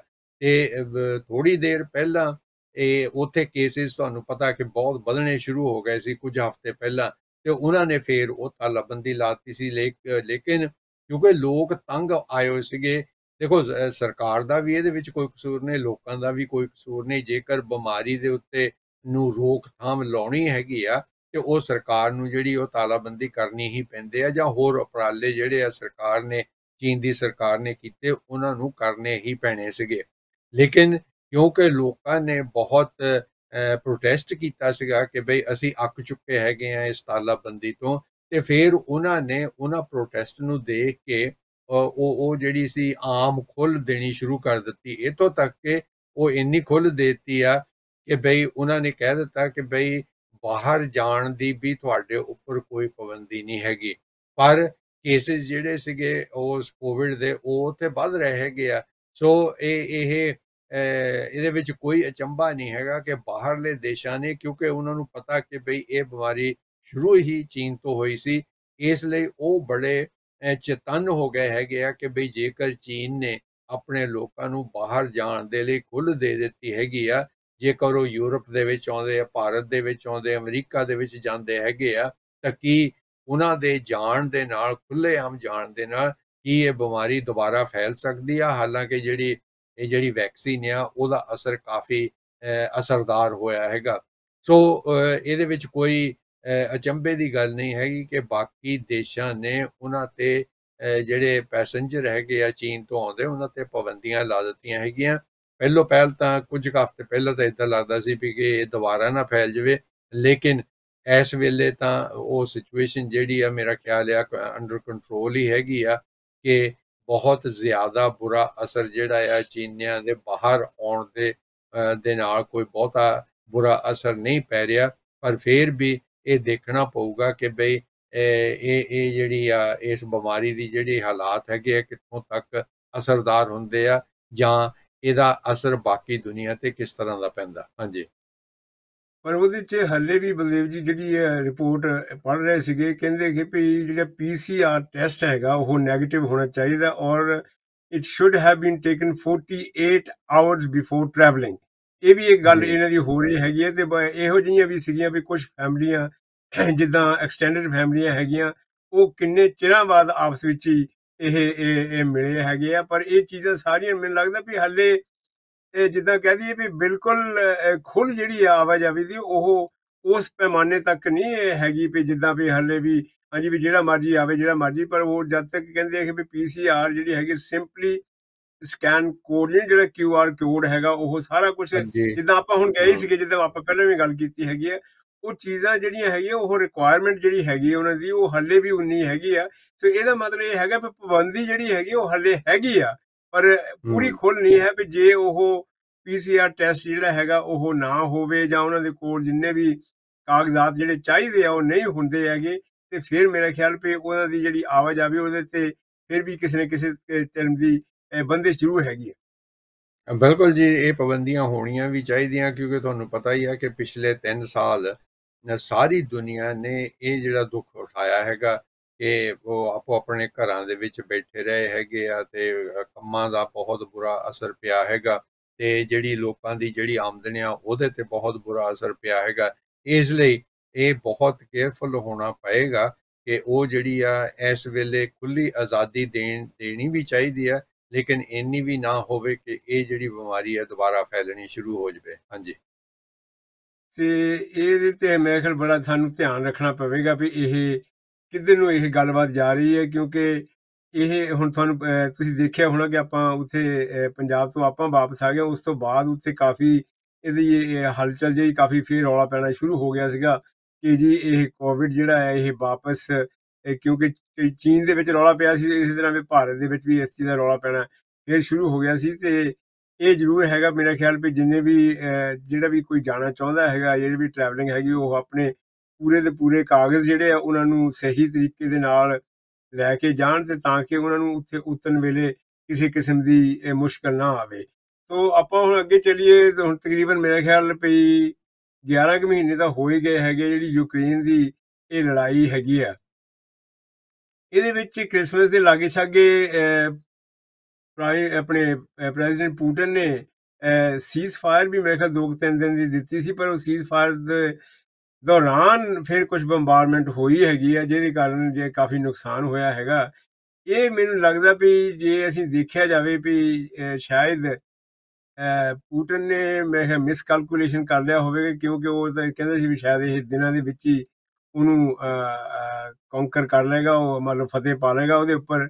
ਤੇ ਉਹ ਗੱਲ ਨਹੀਂ ਹੋਈ ਹੈਗੀ ਤੇ ਹੁਣ ਅੱਜ ਦੀ ਸਥਿਤੀ ਕੀ ਹੈ ਬਲਦੇਵ ਜੀ ਦੀ ਦੇਖੋ ਅੱਜ ਦੀ ਸਥਿਤੀ ਤਾਂ ਇਹੀ ਹੈ ਕਿ ਜੋ ਪਹਿਲੇ ਕਈ ਮਹੀਨਿਆਂ ਤੋਂ ਚੱਲੀ ਆ ਰਹੀ ਹੈਗੀ ਆ ਤੇ ਸਾਰੀ ਦੁਨੀਆ ਇਹੀ ਸੋਚ ਰਹੀ ਹੈਗੀ ਆ ਕਿ ਭਈ ਇਸ ਲੜਾਈ ਦਾ ਜਿਹੜਾ ਅੰਤ ਆ ਉਹ ਕਿਸ ਤਰ੍ਹਾਂ ਹੋਏਗਾ ਔਰ ਸਾਰੇ ਕਹਿ ਰਹੇ ਆ ਕਿ ਹੋਣਾ ਵੀ ਚਾਹੀਦਾ।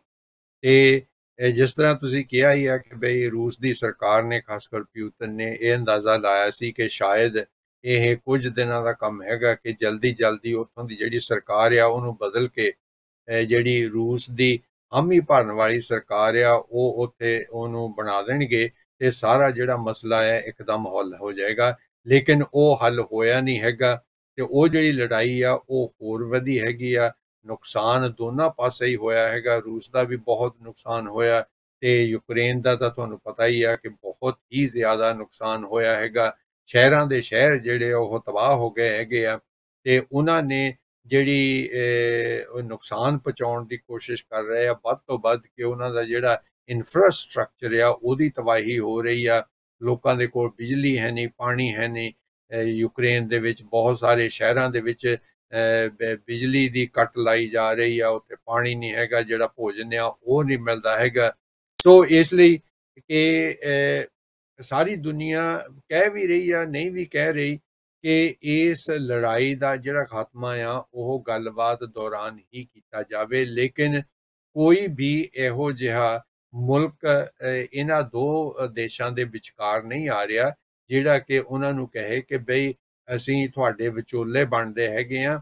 ਆਓ ਇਸ ਨੂੰ ਗੱਲਬਾਤ ਦੇ ਦੌਰਾਨ ਜਿਹੜਾ ਆ, ਉਹ ਇਹਦਾ ਕੋਈ ਨਾ ਕੋਈ ਹੱਲ ਲੱਭ ਲੱਭ ਲਈਏ। ਕਿਉਂਕਿ ਉਹ ਉਹ ਜਿਹੜੀ ਆ, ਰੂਸ ਦਾ ਜਿਹੜਾ ਹੱਲਾ ਸੀਗਾ, ਇਹਨਾਂ ਤੇ ਬੋਲਿਆ, ਉਹਨਾਂ ਦੇ ਵੀ ਆਪੋ ਆਪਣੇ ਕਾਰਨ ਹੈਗੇ ਆ ਕਿ ਉਹ ਕਹਿ ਰਹੇ ਆ ਕਿ ਜਿਹੜੀ ਨੇਟੋ ਆ, ਉਹ ਸਾਡੇ ਸਰਹੱਦਾਂ ਤੇ ਪਹੁੰਚ ਚੁੱਕੀ ਆ ਔਰ ਕਿਉਂਕਿ ਯੂਕਰੇਨ ਦੀ ਸਰਹੱਦ ਉਹਨਾਂ ਦੇ ਐ ਨਾਲ ਲੱਗਦੀ ਹੈ, ਇਸ ਲਈ ਉਹ ਯੂਕਰੇਨ ਨੂੰ ਨੇਟੋ ਦਾ ਮੈਂਬਰ ਨਹੀਂ ਬਣ ਦੇਣਗੇ।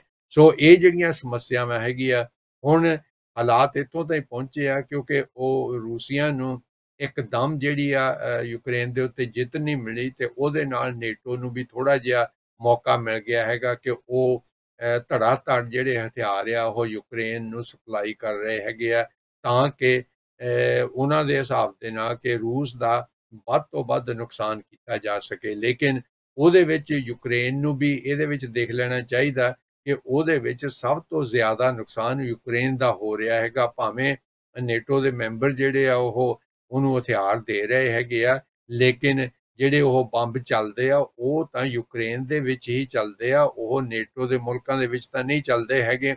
ਇਸ ਲਈ ਦੋਨਾਂ ਧਿਰਾਂ ਨੂੰ ਮੈਂ ਸਮਝਦਾ ਕਿ ਰੂਸ ਨੂੰ ਵੀ ਔਰ ਖਾਸ ਕਰ ਯੂਕਰੇਨ ਨੂੰ ਇਹ ਰੀਅਲਾਈਜ਼ ਕਰ ਲੈਣਾ ਚਾਹੀਦਾ ਕਿ ਬਈ ਨੁਕਸਾਨ ਉਹਨਾਂ ਦਾ ਸਭ ਤੋਂ ਜ਼ਿਆਦਾ ਹੋ ਰਿਹਾ ਹੈਗਾ, ਇਸ ਲਈ ਜੇਕਰ ਹੋ ਸਕੇ ਤਾਂ ਇਹਨੂੰ ਗੱਲਬਾਤ ਦੇ ਜ਼ਰੀਏ ਹੀ ਇਸ ਮਸਲੇ ਦਾ ਹੱਲ ਕਿਸੇ ਨਾ ਕਿਸ ਤਰ੍ਹਾਂ ਕੱਢਿਆ ਜਾਵੇ।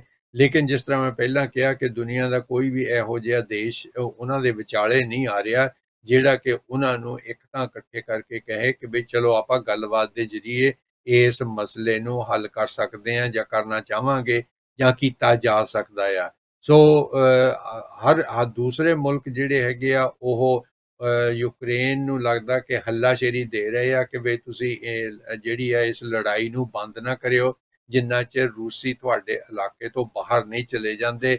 ਉਹਦੇ ਵਿੱਚ ਇਹੀ ਆ ਕਿ ਹੱਲਾ ਤਾਂ ਕਹਿਣ ਨੂੰ ਤਿਆਰ ਹੈਗੇ ਆ ਸਾਰੇ, ਲੇਕਿਨ ਇਸ ਲੜਾਈ ਦਾ ਖਾਤਮਾ ਕਿਸ ਤਰ੍ਹਾਂ ਕਰਨਾ ਹੈਗਾ, ਉਹ ਹਜੇ ਕੋਈ ਵੀ ਮੁਲਕ ਜਿਹੜਾ ਆ, ਉਹ ਸਾਹਮਣੇ ਨਹੀਂ ਆ ਰਿਹਾ।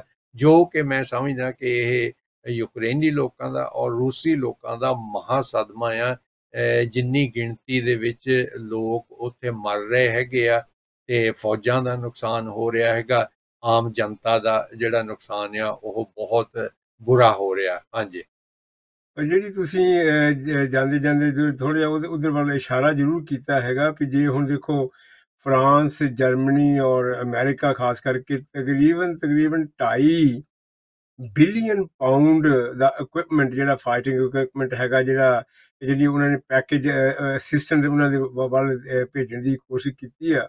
ਇਹਦੇ ਵਿੱਚ ਮਤਲਬ ਟੈਂਕਸ ਜਾਂ ਹੋਰ ਚੀਜ਼ਾਂ, ਇਹ ਉੱਥੇ ਆ ਰਹੀਆਂ ਹੈਗੀਆਂ ਪਮਾ ਡਾਇਰੈਕਟ ਤੌਰ ਤੇ ਨਹੀਂ, ਪਰ ਫਿਰ ਵੀ ਹੈਗੇ, ਜਿਹੜੀ ਤੁਸੀਂ ਵਿਚੋਲੇ ਦੀ ਗੱਲ ਕਰ ਰਹੇ ਹੈਗੇ ਆ ਕਿਉਂਕਿ ਜਦ ਤੱਕ ਕੋਈ ਇਹੋ ਜਿਹੀ ਨਿਊਟਰਲ ਕੰਟਰੀ ਜਿਹਦੇ ਨਾਲ ਯੂਕਰੇਨ ਜਾਂ ਨੇਟੋ ਦੇ ਜਿਹੜੇ ਥੋੜੇ ਬਹੁਤੇ ਬੰਦੇ ਹੈਗੇ ਤੇ ਜਾਂ ਰਸ਼ੀਆ ਦੇ ਨਾਲ ਜਿਹੜਾ ਬੰਦਾ ਇਸ ਪਾਸੇ ਨੂੰ ਸੁਲਝਾ ਦੇ ਸਕਦਾ ਹੈਗਾ, ਮੇਰਾ ਖਿਆਲ ਵੀ ਉਹ ਕੋਈ ਇਹੋ ਜਿਹੀ ਕੰਟਰੀ ਸਾਹਮਣੇ ਆ ਨਹੀਂ ਰਹੀ, ਜਿਹਦੇ ਵਿੱਚ ਹੁਣ ਜਿਹੜੀਆਂ ਦੂਸਰੀਆਂ ਪਾਵਰਸ ਹੈਗੀਆਂ, ਜਿੱਦਾਂ ਮੈਂ ਪਹਿਲਾਂ ਕਿਹਾ ਅਮਰੀਕਾ ਲੈ ਲਓ ਜਰਮਨ ਲੈ ਲਓ ਫਰਾਂਸ ਲੈ ਲਓ ਤੇ ਹੋਰ ਛੋਟੇ ਛੋਟੇ ਜਿਹੜੇ ਹੈਗੇ ਆ ਮੁਲਕ ਜਿਨ੍ਹਾਂ ਨੇ ਵੀ ਇਹ ਕਿਹਾ ਹੈਗਾ ਵੀ ਉਹ ਯੂਕਰੇਨ ਨੂੰ ਮਦਦ ਦੇ ਲਈ ਆਪਣੇ ਜਿਹੜੇ ਹਥਿਆਰ ਜਿਹੜੇ ਆ ਉਹ ਭੇਜਣਗੇ। ਜੇ ਉਹ ਹਥਿਆਰ ਭੇਜਣਗੇ ਕਿਉਂਕਿ ਜਿਹੜਾ ਯੂਕਰੇਨ ਦਾ ਪ੍ਰੈਜ਼ੀਡੈਂਟ ਹੈਗਾ ਉਹ ਵੀ ਤਾਂ ਇਹੀ ਮੰਗ ਕਰ ਰਿਹਾ ਹੈਗਾ ਵੀ ਸਾਨੂੰ ਮਾਡਰਨ ਜਿਹੜੇ ਮਤਲਬ ਉਹਨਾਂ ਦੀ ਰਸ਼ੀਆ ਦੇ ਜਿਹੜੇ ਟੈਂਕਸ ਹੈਗੇ ਜਾਂ ਉਹਨਾਂ ਦਾ ਜਿੰਨਾ ਵੀ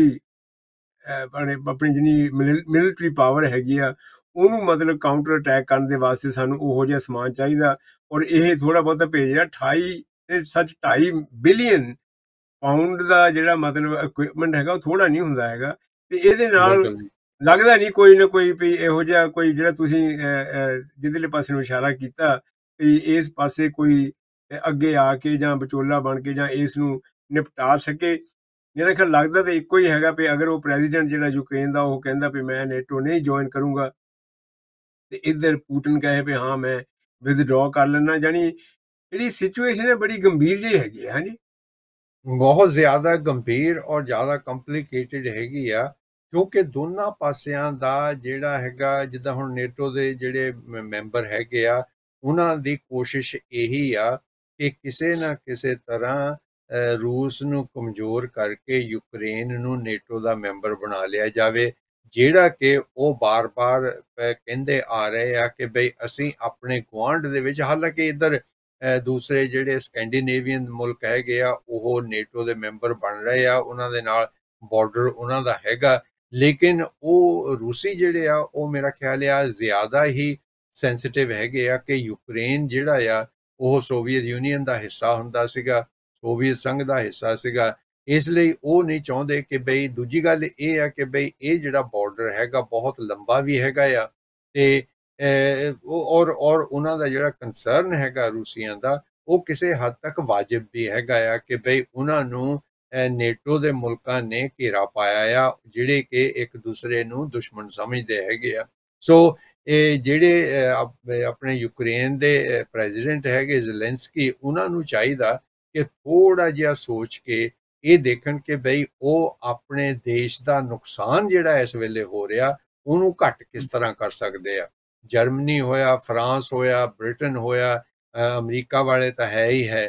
ਇਹਨਾਂ ਨੂੰ ਵੀ ਥੋੜਾ ਜਿਹਾ ਸੋਚਣਾ ਚਾਹੀਦਾ ਕਿ ਬਈ ਬਜਾਏ ਇਹਦੇ ਕਿ ਇਹ ਪੁਸ਼ ਕੀਤਾ ਜਾਵੇ ਕਿ ਯੂਕਰੇਨ ਨੂੰ ਹੋਰ ਥੋੜੇ ਚਿਰ ਤਾਈਂ ਨੇਟੋ ਦਾ ਮੈਂਬਰ ਬਣਾ ਲਿਆ ਜਾਵੇ, ਉਹਦੇ ਤੋਂ ਸੰਕੋਚ ਕਰਕੇ ਇਹ ਸੋਚਣਾ ਚਾਹੀਦਾ ਕਿ ਉਹ ਲੋਕਾਂ ਦਾ, ਯੂਕਰੇਨ ਦੇ ਲੋਕਾਂ ਦਾ ਜਿਹੜਾ ਇਹਨਾਂ ਨੁਕਸਾਨ ਹੋ ਰਿਹਾ, ਉਹਨੂੰ ਘੱਟ ਕਿੱਦਾਂ ਕਰ ਸਕਦਾ ਕੀਤਾ ਜਾ ਸਕਦਾ ਇਹਨੇ ਇਹਨਾਂ ਨੂੰ ਸੈਲਫਿਸ਼ ਨਹੀਂ ਹੋਣਾ ਚਾਹੀਦਾ ਕਿ ਬਈ ਅਸੀਂ ਉਸ ਮੁਲਕ ਨੂੰ ਨੇਟੋ ਦਾ ਮੈਂਬਰ ਬਣਾ ਕੇ ਹੀ ਰਵਾਂਗੇ, ਜਿਹੜਾ ਕਿ ਪਤਾ ਨਹੀਂ ਉਹ ਸ਼ਾਇਦ ਬਣੇ ਜਾਂ ਨਾ ਬਣੇ ਜਾਂ ਰੂਸੀ ਇੰਨੇ ਕਮਜ਼ੋਰ ਹੋ ਜਾਣ ਕਿ ਉਹ ਕਹਿ ਦੇਣ ਜੀ ਅਸੀਂ ਜੋ ਜੋ ਹੁਣ ਤੱਕ ਹੋਇਆ ਉਹ ਛੱਡ ਕੇ ਜਾ ਰਹੇ ਹੈਗੇ ਆ।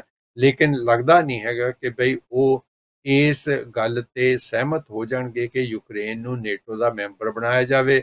ਔਰ ਜਿਸ ਤਰ੍ਹਾਂ ਮੈਂ ਪਹਿਲਾਂ ਹੀ ਕਿਹਾ ਕਿ ਕੋਈ ਵਿਚੋਲਾ ਟਰਕੀ ਨੇ ਪਹਿਲੋ ਪਹਿਲ ਇਹ ਕੰਮ ਕਰਨ ਦੀ ਕੋਸ਼ਿਸ਼ ਕੀਤੀ ਸੀ ਲੇਕਿਨ ਟਰਕੀ ਵੀ ਨੇਟੋ ਦਾ ਮੈਂਬਰ ਹੋਣ ਕਰਕੇ ਮੇਰਾ ਖਿਆਲ ਆ ਉਹ ਵਿਚੋਲਗੀ ਦਾ ਜਿਹੜਾ ਰੋਲ ਆ ਉਹ ਇੰਨਾ ਸੋਹਣਾ ਅਦਾ ਨਹੀਂ ਕਰ ਸਕਦੇ।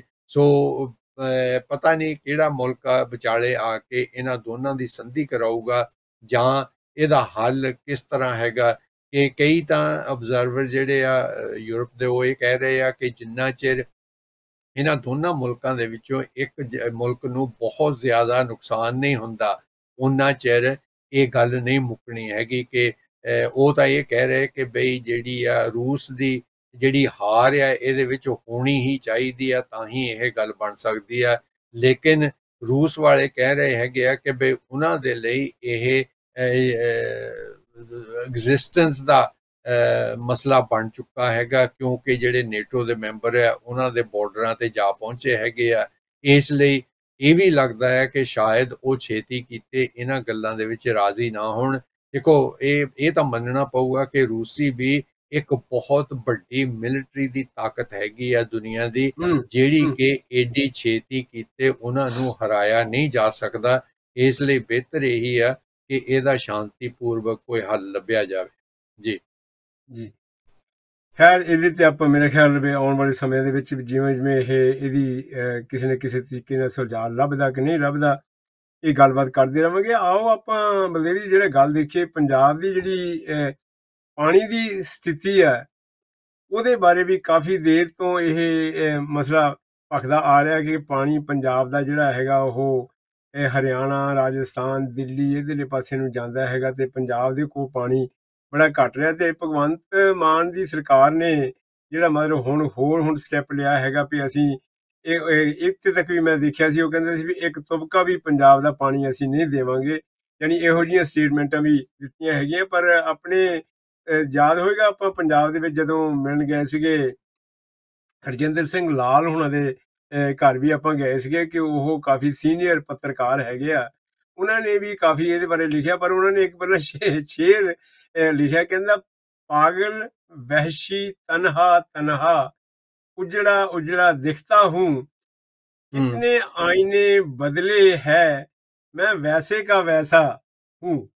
ਤੇ ਮੈਂ ਇਹ ਸ਼ੇਰ ਜਿਹਾ ਪੜ੍ਹ ਕੇ ਬੜਾ ਹੈਰਾਨ ਹੋਇਆ। ਮੈਂ ਕਿਹਾ ਵੀ ਗੱਲ ਤੇ ਬੜੀ ਵਧੀਆ ਹੈਗੀ ਆ। ਉਹ ਮਤਲਬ ਕਹਿਣ ਤੋਂ ਭਾਵ ਹੈਗਾ ਵੀ ਜਾਨੀ ਜਿੰਨੀਆਂ ਮਰਜ਼ੀ ਸਰਕਾਰਾਂ ਆ ਜਾਣ ਉਹ ਉੱਥੇ ਦਾ ਉੱਥੇ ਜਿੱਦਾਂ ਕਹਿੰਦੇ ਵੀ ਪਨਾਲਾ ਉੱਥੇ ਦਾ ਉੱਥੇ ਰਹਿੰਦਾ ਹੈਗਾ।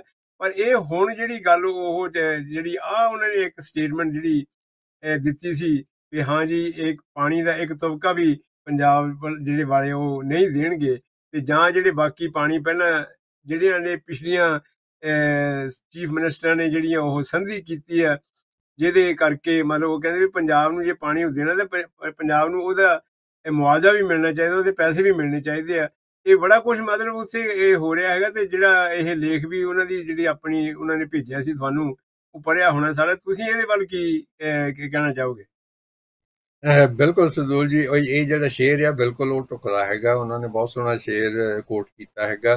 ਹਕੀਕਤ ਇਹ ਆ ਕਿ ਵੀ ਭਾਰਤ ਵਰਸ਼ ਦੇ ਦਾ ਸਦਮਾ ਇਹ ਆ ਕਿ ਉਥੋਂ ਦੀਆਂ ਸਰਕਾਰਾਂ ਜਾਂ ਉਥੋਂ ਦੇ ਲੋਕ ਜਿਹੜੇ ਆ, ਉਹ ਜੇਕਰ ਦੇਸ਼ ਨੂੰ ਕੋਈ ਸਮੱਸਿਆ ਆਉਂਦੀ ਆ ਜਾਂ ਉਹ ਦੋ ਸੂਬਿਆਂ ਦਾ ਆਪਸ ਵਿੱਚ ਹੀ ਝਗੜਾ ਆ, ਉਹਨੂੰ ਸੁਲਝਾਉਣ ਦੀ ਬਜਾਏ ਉਹਨੂੰ ਬਹੁਤ ਲੰਬਾ ਪਾ ਦਿੰਦੇ ਆ ਔਰ ਉਹ ਸੋਚਦੇ ਆ ਕਿ ਇਹ ਸ਼ਾਇਦ ਉਤੋਂ ਦੀਆਂ ਸਰਕਾਰਾਂ ਦੇ ਹੱਕ ਦੇ ਵਿੱਚ ਹੀ ਆ ਕਿ ਬਈ ਇਹ ਜਿਹੜਾ ਮਸਲਾ ਆ, ਇਹ ਹੱਲ ਨਾ ਹੀ ਹੋਵੇ ਤਾਂ ਚੰਗਾ। ਦੇਖੋ, ਇਹ ਜਿਹੜਾ ਪਾਣੀਆਂ ਦਾ ਮਸਲਾ ਆ, ਇਧਰ ਚੰਡੀਗੜ੍ਹ ਦਾ ਮਸਲਾ ਹੈਗਾ, ਇਹ ਕਿੰਨੇ ਚਿਰ ਤੋਂ ਲਟਕਦਾ ਆ ਰਿਹਾ? ਕਿਸੇ ਵੀ ਸਰਕਾਰ ਨੇ ਇਹਨੂੰ ਹੱਲ ਕਰਨ ਦੀ ਕੋਸ਼ਿਸ਼ ਨਹੀਂ ਕੀਤੀ ਹੈਗੀ।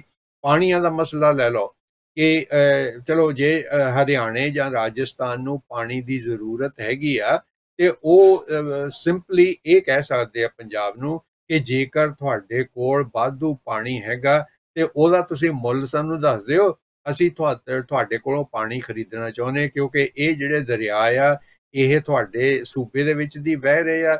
ਇਸ ਲਈ ਇਹਨਾਂ ਦਰਿਆਵਾਂ ਦੀ ਮਾਲਕੀਅਤ ਜਿਹੜੀ ਆ, ਤੁਹਾਡੀ ਆ, ਜਿਸ ਤਰ੍ਹਾਂ ਜੇ ਜੇਕਰ ਬਾਹਰਲੇ ਸੂਬਿਆਂ ਦੇ ਵਿੱਚ ਕੋਲਾ ਨਿਕਲਦਾ ਹੈਗਾ, ਤੇ ਉਹ ਕੋਲਾ ਦੀ ਜ਼ਰੂਰਤ ਜੇ ਪੰਜਾਬ ਦੇ ਵਿੱਚ ਹੈਗੀ ਆ, ਇਹਦਾ ਮਤਲਬ ਇਹ ਥੋੜਾ ਆਪੇ ਵੀ ਬਿਹਾਰ ਦੇ ਜਿਹੜੇ ਖਾਣਾ ਦੇ ਮਾਲਕ ਹੈਗੇ ਆ, ਉਹ ਕੋਲਾ ਜਿਹੜਾ ਪੰਜਾਬ ਦੇ ਲੋਕਾਂ ਨੂੰ ਮੁਫਤ ਦੇ ਰਹੇ ਹੈਗੇ ਆ, ਉਹ ਕੋਲਾ ਜਿਹੜਾ ਪੰਜਾਬ ਦੇ ਲੋਕ ਖਰੀਦਦੇ ਹੈਗੇ ਆ ਉਹਨਾਂ ਦੇ ਕੋਲੋਂ। ਇਸ ਲਈ ਇਹਨਾਂ ਨੂੰ ਹਰਿਆਣੇ ਦੀ ਸਰਕਾਰ ਨੂੰ ਅਤੇ ਰਾਜਸਥਾਨ ਦੀ ਸਰਕਾਰ ਨੂੰ ਇਹ ਕਹਿ ਦੇਣਾ ਚਾਹੀਦਾ ਸੀਗਾ, ਤੁਸੀਂ ਆਪਣੇ ਪਾਣੀ ਦਾ ਮੁੱਲ ਦੱਸੋ, ਸਾਨੂੰ ਪਾਣੀ ਦੀ ਲੋੜ ਆ ਤੇ ਅਸੀਂ ਤੁਹਾਨੂੰ ਉਹ ਪੈਸੇ ਦੇਵਾਂਗੇ, ਤੁਸੀਂ ਸਾਨੂੰ ਮੁੱਲ ਵੇਚ ਦਿਓ। ਲੇਕਿਨ ਜਿਹੜੀਆਂ ਕੇਂਦਰ ਦੀਆਂ ਸਰਕਾਰਾਂ ਵੀ ਹੈਗੀਆਂ, ਉਹ ਲੱਗਦਾ ਇਵੇਂ ਹੈਗਾ, ਬਾਕੀ ਡੀਟੇਲਸ ਦਾ ਉੱਥੋਂ ਦੇ ਲੋਕਾਂ ਨੂੰ ਪਤਾ ਹੋਊਗਾ।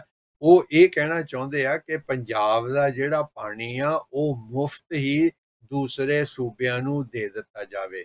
ਉਹਦੇ ਵਿੱਚ ਜਿਹੜੇ ਪੰਜਾਬ ਵਾਲੇ ਆ, ਉਹ ਕਹਿੰਦੇ ਇਹ ਕਦੇ ਹੋ ਹੀ ਨਹੀਂ ਸਕਦਾ ਕਿ ਅਸੀਂ ਉਹਨਾਂ ਨੂੰ ਮੁਫਤ ਦਾ ਪਾਣੀ ਦੇ ਦਈਏ ਕਿ ਕੀ ਕੋਈ ਬਿਜਲੀ ਜਿਹੜੀ ਆ, ਜੇ ਦਿੱਲੀ ਦੇ ਇਲਾਕੇ ਦੇ ਵਿੱਚ ਬਿਜਲੀ ਜ਼ਿਆਦਾ ਪੈਦਾ ਕੀਤੀ ਜਾਂਦੀ ਹੈ ਕਿ ਉਹ ਬਿਜਲੀ ਪੰਜਾਬ ਨੂੰ ਮੁਫਤ ਦੇ ਦਿੰਦੇ ਆ ਜਾਂ ਉਹ ਹਰਿਆਣੇ ਨੂੰ ਬਿਜਲੀ ਜਿਹੜੀ ਆ, ਉਹ ਮੁਫਤ ਦਿੱਤੀ ਜਾਂਦੀ ਆ? ਇਸ ਲਈ ਮੈਂ ਸਮਝਦਾ ਕਿ ਬਈ ਉਸ ਮੁਲਕ ਦਾ, ਉਹਨਾਂ ਲੋਕਾਂ ਦਾ ਐਡਾ ਵੱਡਾ ਇਹ ਸਦਮਾ ਹੈਗਾ ਕਿ ਜਿਹੜੀਆਂ ਵੀ ਸਰਕਾਰਾਂ ਆਉਂਦੀਆਂ ਹੈਗੀਆਂ, ਉਹ ਸਮੱਸਿਆ ਦਾ ਹੱਲ ਲੱਭਣ ਦੀ ਬਜਾਏ ਉਸ ਸਮੱਸਿਆ ਨੂੰ ਇੰਨੀ ਗੁੰਝਲਦਾਰ ਬਣਾ ਦਿੰਦੀਆਂ ਕਿ ਇਹਨਾਂ ਦਾ ਜਿਹੜਾ ਮਸਲਾ ਆ, ਇਹਨਾਂ ਦੀ ਜਿਹੜੀ ਲੜਾਈ ਆ, ਇਹ ਦੋ ਸੂਬੇ ਆਪਸ ਵਿੱਚ ਲੜਦੇ ਹੀ ਰਹਿਣ ਤਾਂ ਚੰਗਾ ਆ। ਹੁਣ ਤੁਸੀਂ ਆ ਚੰਡੀਗੜ੍ਹ ਦਾ ਇਹ ਮਸਲਾ ਲੈ ਲਓ, ਚੰਡੀਗੜ੍ਹ ਰਾਜਧਾਨੀ ਪੰਜਾਬ ਦੀ ਸੀ। ਪੰਜਾਬ ਦੇ ਹੀ ਉਹ ਪਿੰਡ ਸੀਗੇ ਜਿੱਥੇ ਕਿ ਇਹ ਚੰਡੀਗੜ੍ਹ ਬਣਾਇਆ ਗਿਆ।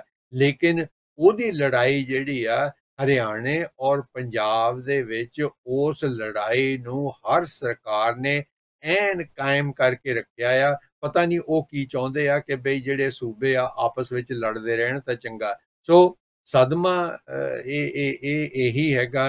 ਹੁਣ ਤੁਸੀਂ ਇਹ ਦੇਖ ਲਓ ਕਿ ਆਪਾਂ ਜਦੋਂ ਇੱਕ ਮਹੀਨਾ ਉੱਥੇ ਲਾ ਕੇ ਆਏ ਆ ਆਪਾਂ ਭਾਸ਼ਾ, ਪੰਜਾਬੀ ਭਾਸ਼ਾ ਦੇ ਬਾਰੇ ਗੱਲ ਕਰਨ ਉੱਥੇ ਗਏ ਸੀਗੇ ਪਤਾ ਕਰਨ ਗਏ ਸੀਗੇ, ਉਹ ਪੰਜਾਬੀ ਭਾਸ਼ਾ ਦਾ ਵੀ ਮਸਲਾ ਇਹੀ ਆ ਕਿ ਉਸ ਮਸਲੇ ਨੂੰ ਕਿਸੇ ਵੀ ਸਰਕਾਰ ਨੇ ਹੱਲ ਨਹੀਂ ਕੀਤਾ, ਨਾ ਉਹ ਕਰਨਾ ਚਾਹੁੰਦੇ ਹੀ ਆ ਤੇ ਸ਼ਾਇਦ ਉਹਨਾਂ ਨੂੰ ਹੱਲ ਕਰਨਾ ਆਉਂਦਾ ਵੀ ਨਹੀਂ। ਮੈਂ ਤਾਂ ਆਪਾਂ ਇਸੇ ਹੀ ਕਨਕਲੂਜਨ ਤੇ ਪਹੁੰਚੇ ਹੈਗੇ ਆ ਕਿ ਜਦੋਂ ਕੋਈ ਸਮੱਸਿਆ ਉਤੋਂ ਦੀਆਂ ਸਰਕਾਰਾਂ ਨੂੰ ਆ ਜਾਂਦੀ ਆ, ਉਹਨਾਂ ਨੂੰ ਪਤਾ ਹੀ ਨਹੀਂ ਲੱਗਦਾ ਕਿ ਇਸ ਸਮੱਸਿਆ ਦਾ ਹੱਲ ਕਿਸ ਤਰ੍ਹਾਂ ਕਰਨਾ। ਸੋ ਉਹਨਾਂ ਦੀ ਇਗਨੋਰੈਂਸ ਜਿਹੜੀ ਆ, ਉਹ ਵੀ ਬਹੁਤ ਵੱਡਾ ਰੋਲ ਅਦਾ ਕਰਦੀ ਹੈਗੀ ਆ ਕਿ ਨਵੀਆਂ ਸਮੱਸਿਆਵਾਂ ਦਾ ਹੱਲ ਕਰਨਾ ਉਹਨਾਂ ਨੂੰ, ਉੱਥੇ ਦੇ ਪੋਲੀਟੀਸ਼ੀਅਨਾਂ ਨੂੰ, ਉੱਥੇ ਦੇ ਲੀਡਰਾਂ ਨੂੰ, ਉੱਥੋਂ ਦੇ ਮੁੱਖ ਮੰਤਰੀਆਂ ਨੂੰ, ਉੱਥੋਂ ਦੇ ਪ੍ਰਧਾਨ ਮੰਤਰੀਆਂ ਨੂੰ ਕਰਨਾ ਹੀ ਨਹੀਂ ਆਉਂਦਾ। ਇਸੇ ਕਰਕੇ ਉਹ ਜਿਹੜੀਆਂ ਸਮੱਸਿਆਵਾਂ ਲਟਕਦੀਆਂ ਰਹਿੰਦੀਆਂ। ਸੋ ਆ ਜਿਹੜਾ ਪਾਣੀਆਂ ਦਾ ਮਸਲਾ ਹੈ, ਲੱਗਦਾ ਨਹੀਂ ਹੈਗਾ ਕਿ ਇਹਦਾ ਜਿਹੜਾ ਹੱਲ ਆ, ਉਹ ਭਗਵੰਤ ਮਾਨ ਕਰ ਸਕਣਗੇ। ਜਾਂ ਜਿਹੜੀ ਕੇਂਦਰ ਦੀ ਸਰਕਾਰ ਆ, ਉਹ ਕਰ ਸਕੂਗੀ ਕਿਉਂਕਿ ਉਹ ਕਰਨਾ ਚਾਹੁੰਦੇ ਹੀ ਨਹੀਂ, ਕਿਉਂਕਿ ਉਹਨਾਂ ਨੂੰ ਇਹਦਾ ਹੱਲ ਕਰਨਾ ਆਉਂਦਾ ਹੀ ਨਹੀਂ। ਸੋ ਸਾਡੀ ਅਰਦਾਸ ਇਹੀ ਆ ਕਿ ਭਗਵਾਨ ਇਹਨਾਂ ਲੋਕਾਂ ਨੂੰ ਸਮਤ ਬਖਸ਼ੇ ਤਾਂ ਕਿ ਉਹ ਦੇਸ਼ ਤਰੱਕੀ ਕਰ ਸਕੇ। ਉਹ ਆਪਣੀਆਂ ਸਮੱਸਿਆਵਾਂ ਦਾ ਹੱਲ ਜਿਹੜਾ ਆ, ਉਹ ਜਲਦੀ ਤੋਂ ਜਲਦੀ ਲੱਭ ਲੈਣ। ਜੀ। ਇਹਦੇ ਚ ਕਾਫੀ ਵੈਸੇ ਇਹ ਲੰਮੀ ਚੌੜੀ ਗੱਲਬਾਤ ਹੈਗੀ ਜਿੱਥੇ ਕਹਿੰਦੇ ਸੁਪਰੀਮ ਕੋਰਟ ਵਾਲੇ ਵੀ ਉਹ ਮਤਲਬ ਸਮਝੌਤਾ ਕਰਨ ਦੀ ਬਜਾਏ ਉਹਨੂੰ ਮਤਲਬ ਉਹ ਵੀ ਲਟਕਣ ਜਿਹਾ ਤਰੀਕੇ ਨਾਲ ਜਿੱਦਾਂ ਤੁਸੀਂ ਕਹਿ ਰਹੇ ਹੈਗੇ ਆ।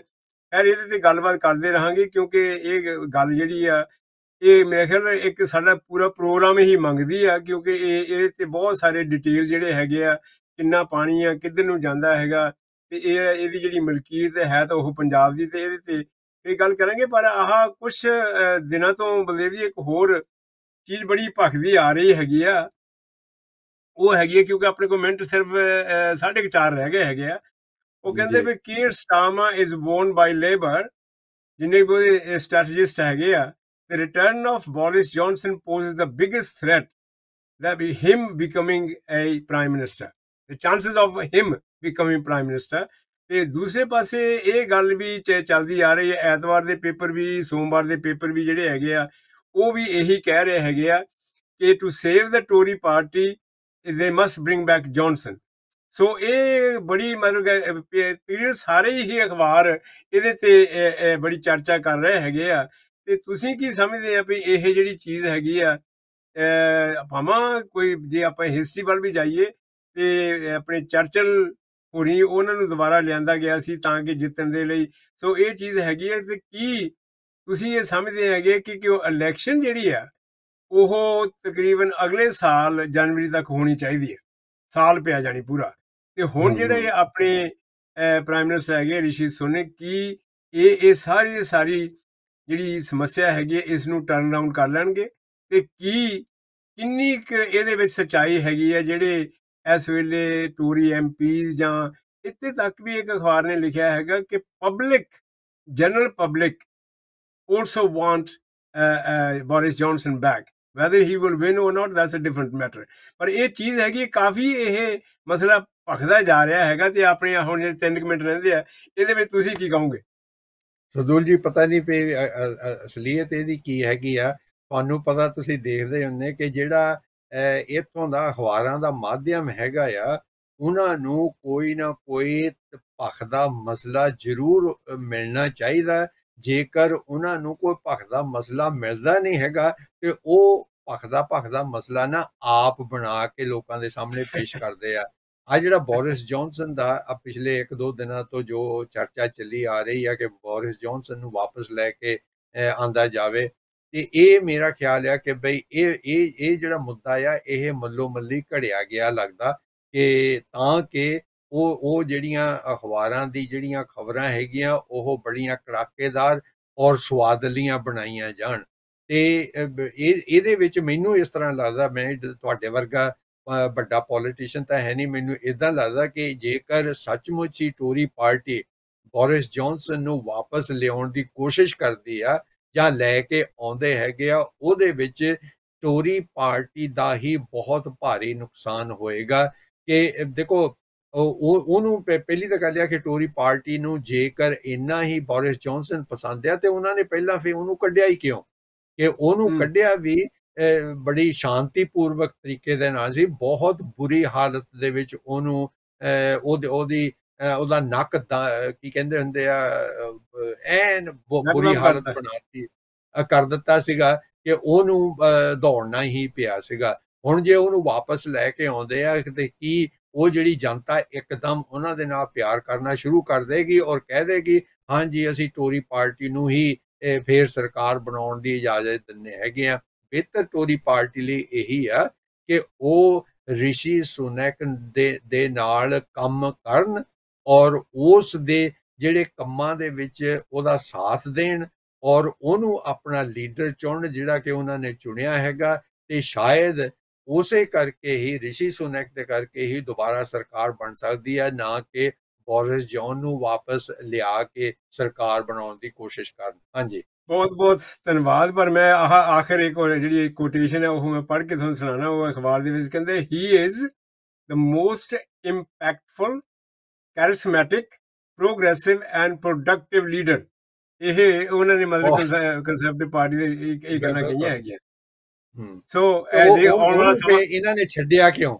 ਹਾਂਜੀ ਗੱਲ ਤਾਂ ਇਹ ਆ। ਨਹੀਂ ਇਹ ਤਾਂ ਆਉਣ ਵਾਲੇ ਸਮੇਂ ਦੇ ਵਿੱਚ ਆਪਾਂ ਦੇਖਦੇ ਆਪਾਂ ਤੇ ਜੋ ਕੁਝ ਸਾਹਮਣੇ ਹੈਗਾ ਉਹਦੇ ਤੇ ਆਪਣੇ ਵਿਚਾਰ ਵਟਾਂਦਰਾ ਕਰਦੇ ਆ ਬਲਦੇਵ ਜੀ ਬਹੁਤ ਬਹੁਤ ਧੰਨਵਾਦ ਅੱਜ ਦੇ ਇਹ ਪ੍ਰੋਗਰਾਮ ਦੇ ਵਿੱਚ ਹਿੱਸਾ ਲੈਣ ਲਈ। ਤੋਂ ਆਉਣ ਵਾਲੇ ਪ੍ਰੋਗਰਾਮ ਦੇ ਵਿੱਚ ਫਿਰ ਇਸ ਤਰ੍ਹਾਂ ਚਰਚਾ ਕਰਦੇ ਰਹਾਂਗੇ। ਤੇ ਤੁਸੀਂ ਸਿੱਖ ਚੈਨਲ ਦੀ ਇਸੇ ਤਰ੍ਹਾਂ ਸਪੋਰਟ ਕਰਦੇ ਰਹੋ ਸਿੱਖ ਚੈਨਲ ਦੇ ਨਾਲ ਡਟ ਕੇ ਮੋਢੇ ਨਾਲ ਮੋਢਾ ਡਾ ਕੇ ਐਨ ਪੂਰੀ ਪੂਰਾ ਤਰ੍ਹਾਂ ਸਿੱਖ ਚੈਨਲ ਨੂੰ ਚਲਾਉਂਦੇ ਰਹੋ। ਪ੍ਰੋਗਰਾਮ ਦੀ ਇੱਥੇ ਸਮਾਪਤੀ ਹੈ। ਅਗਲੇ ਪ੍ਰੋਗਰਾਮ ਤੱਕ ਦਿਓ ਅੱਗੇ ਤੇ ਫਿਰ ਤੁਹਾਡੇ ਦਰਸ਼ਨ ਕਰਾਂਗੇ ਤੇ ਫਿਰ ਹੋਰ ਕਿਸੇ ਮੁੱਦੇ ਦੇ ਉੱਤੇ ਚਰਚਾ ਕਰਾਂਗੇ।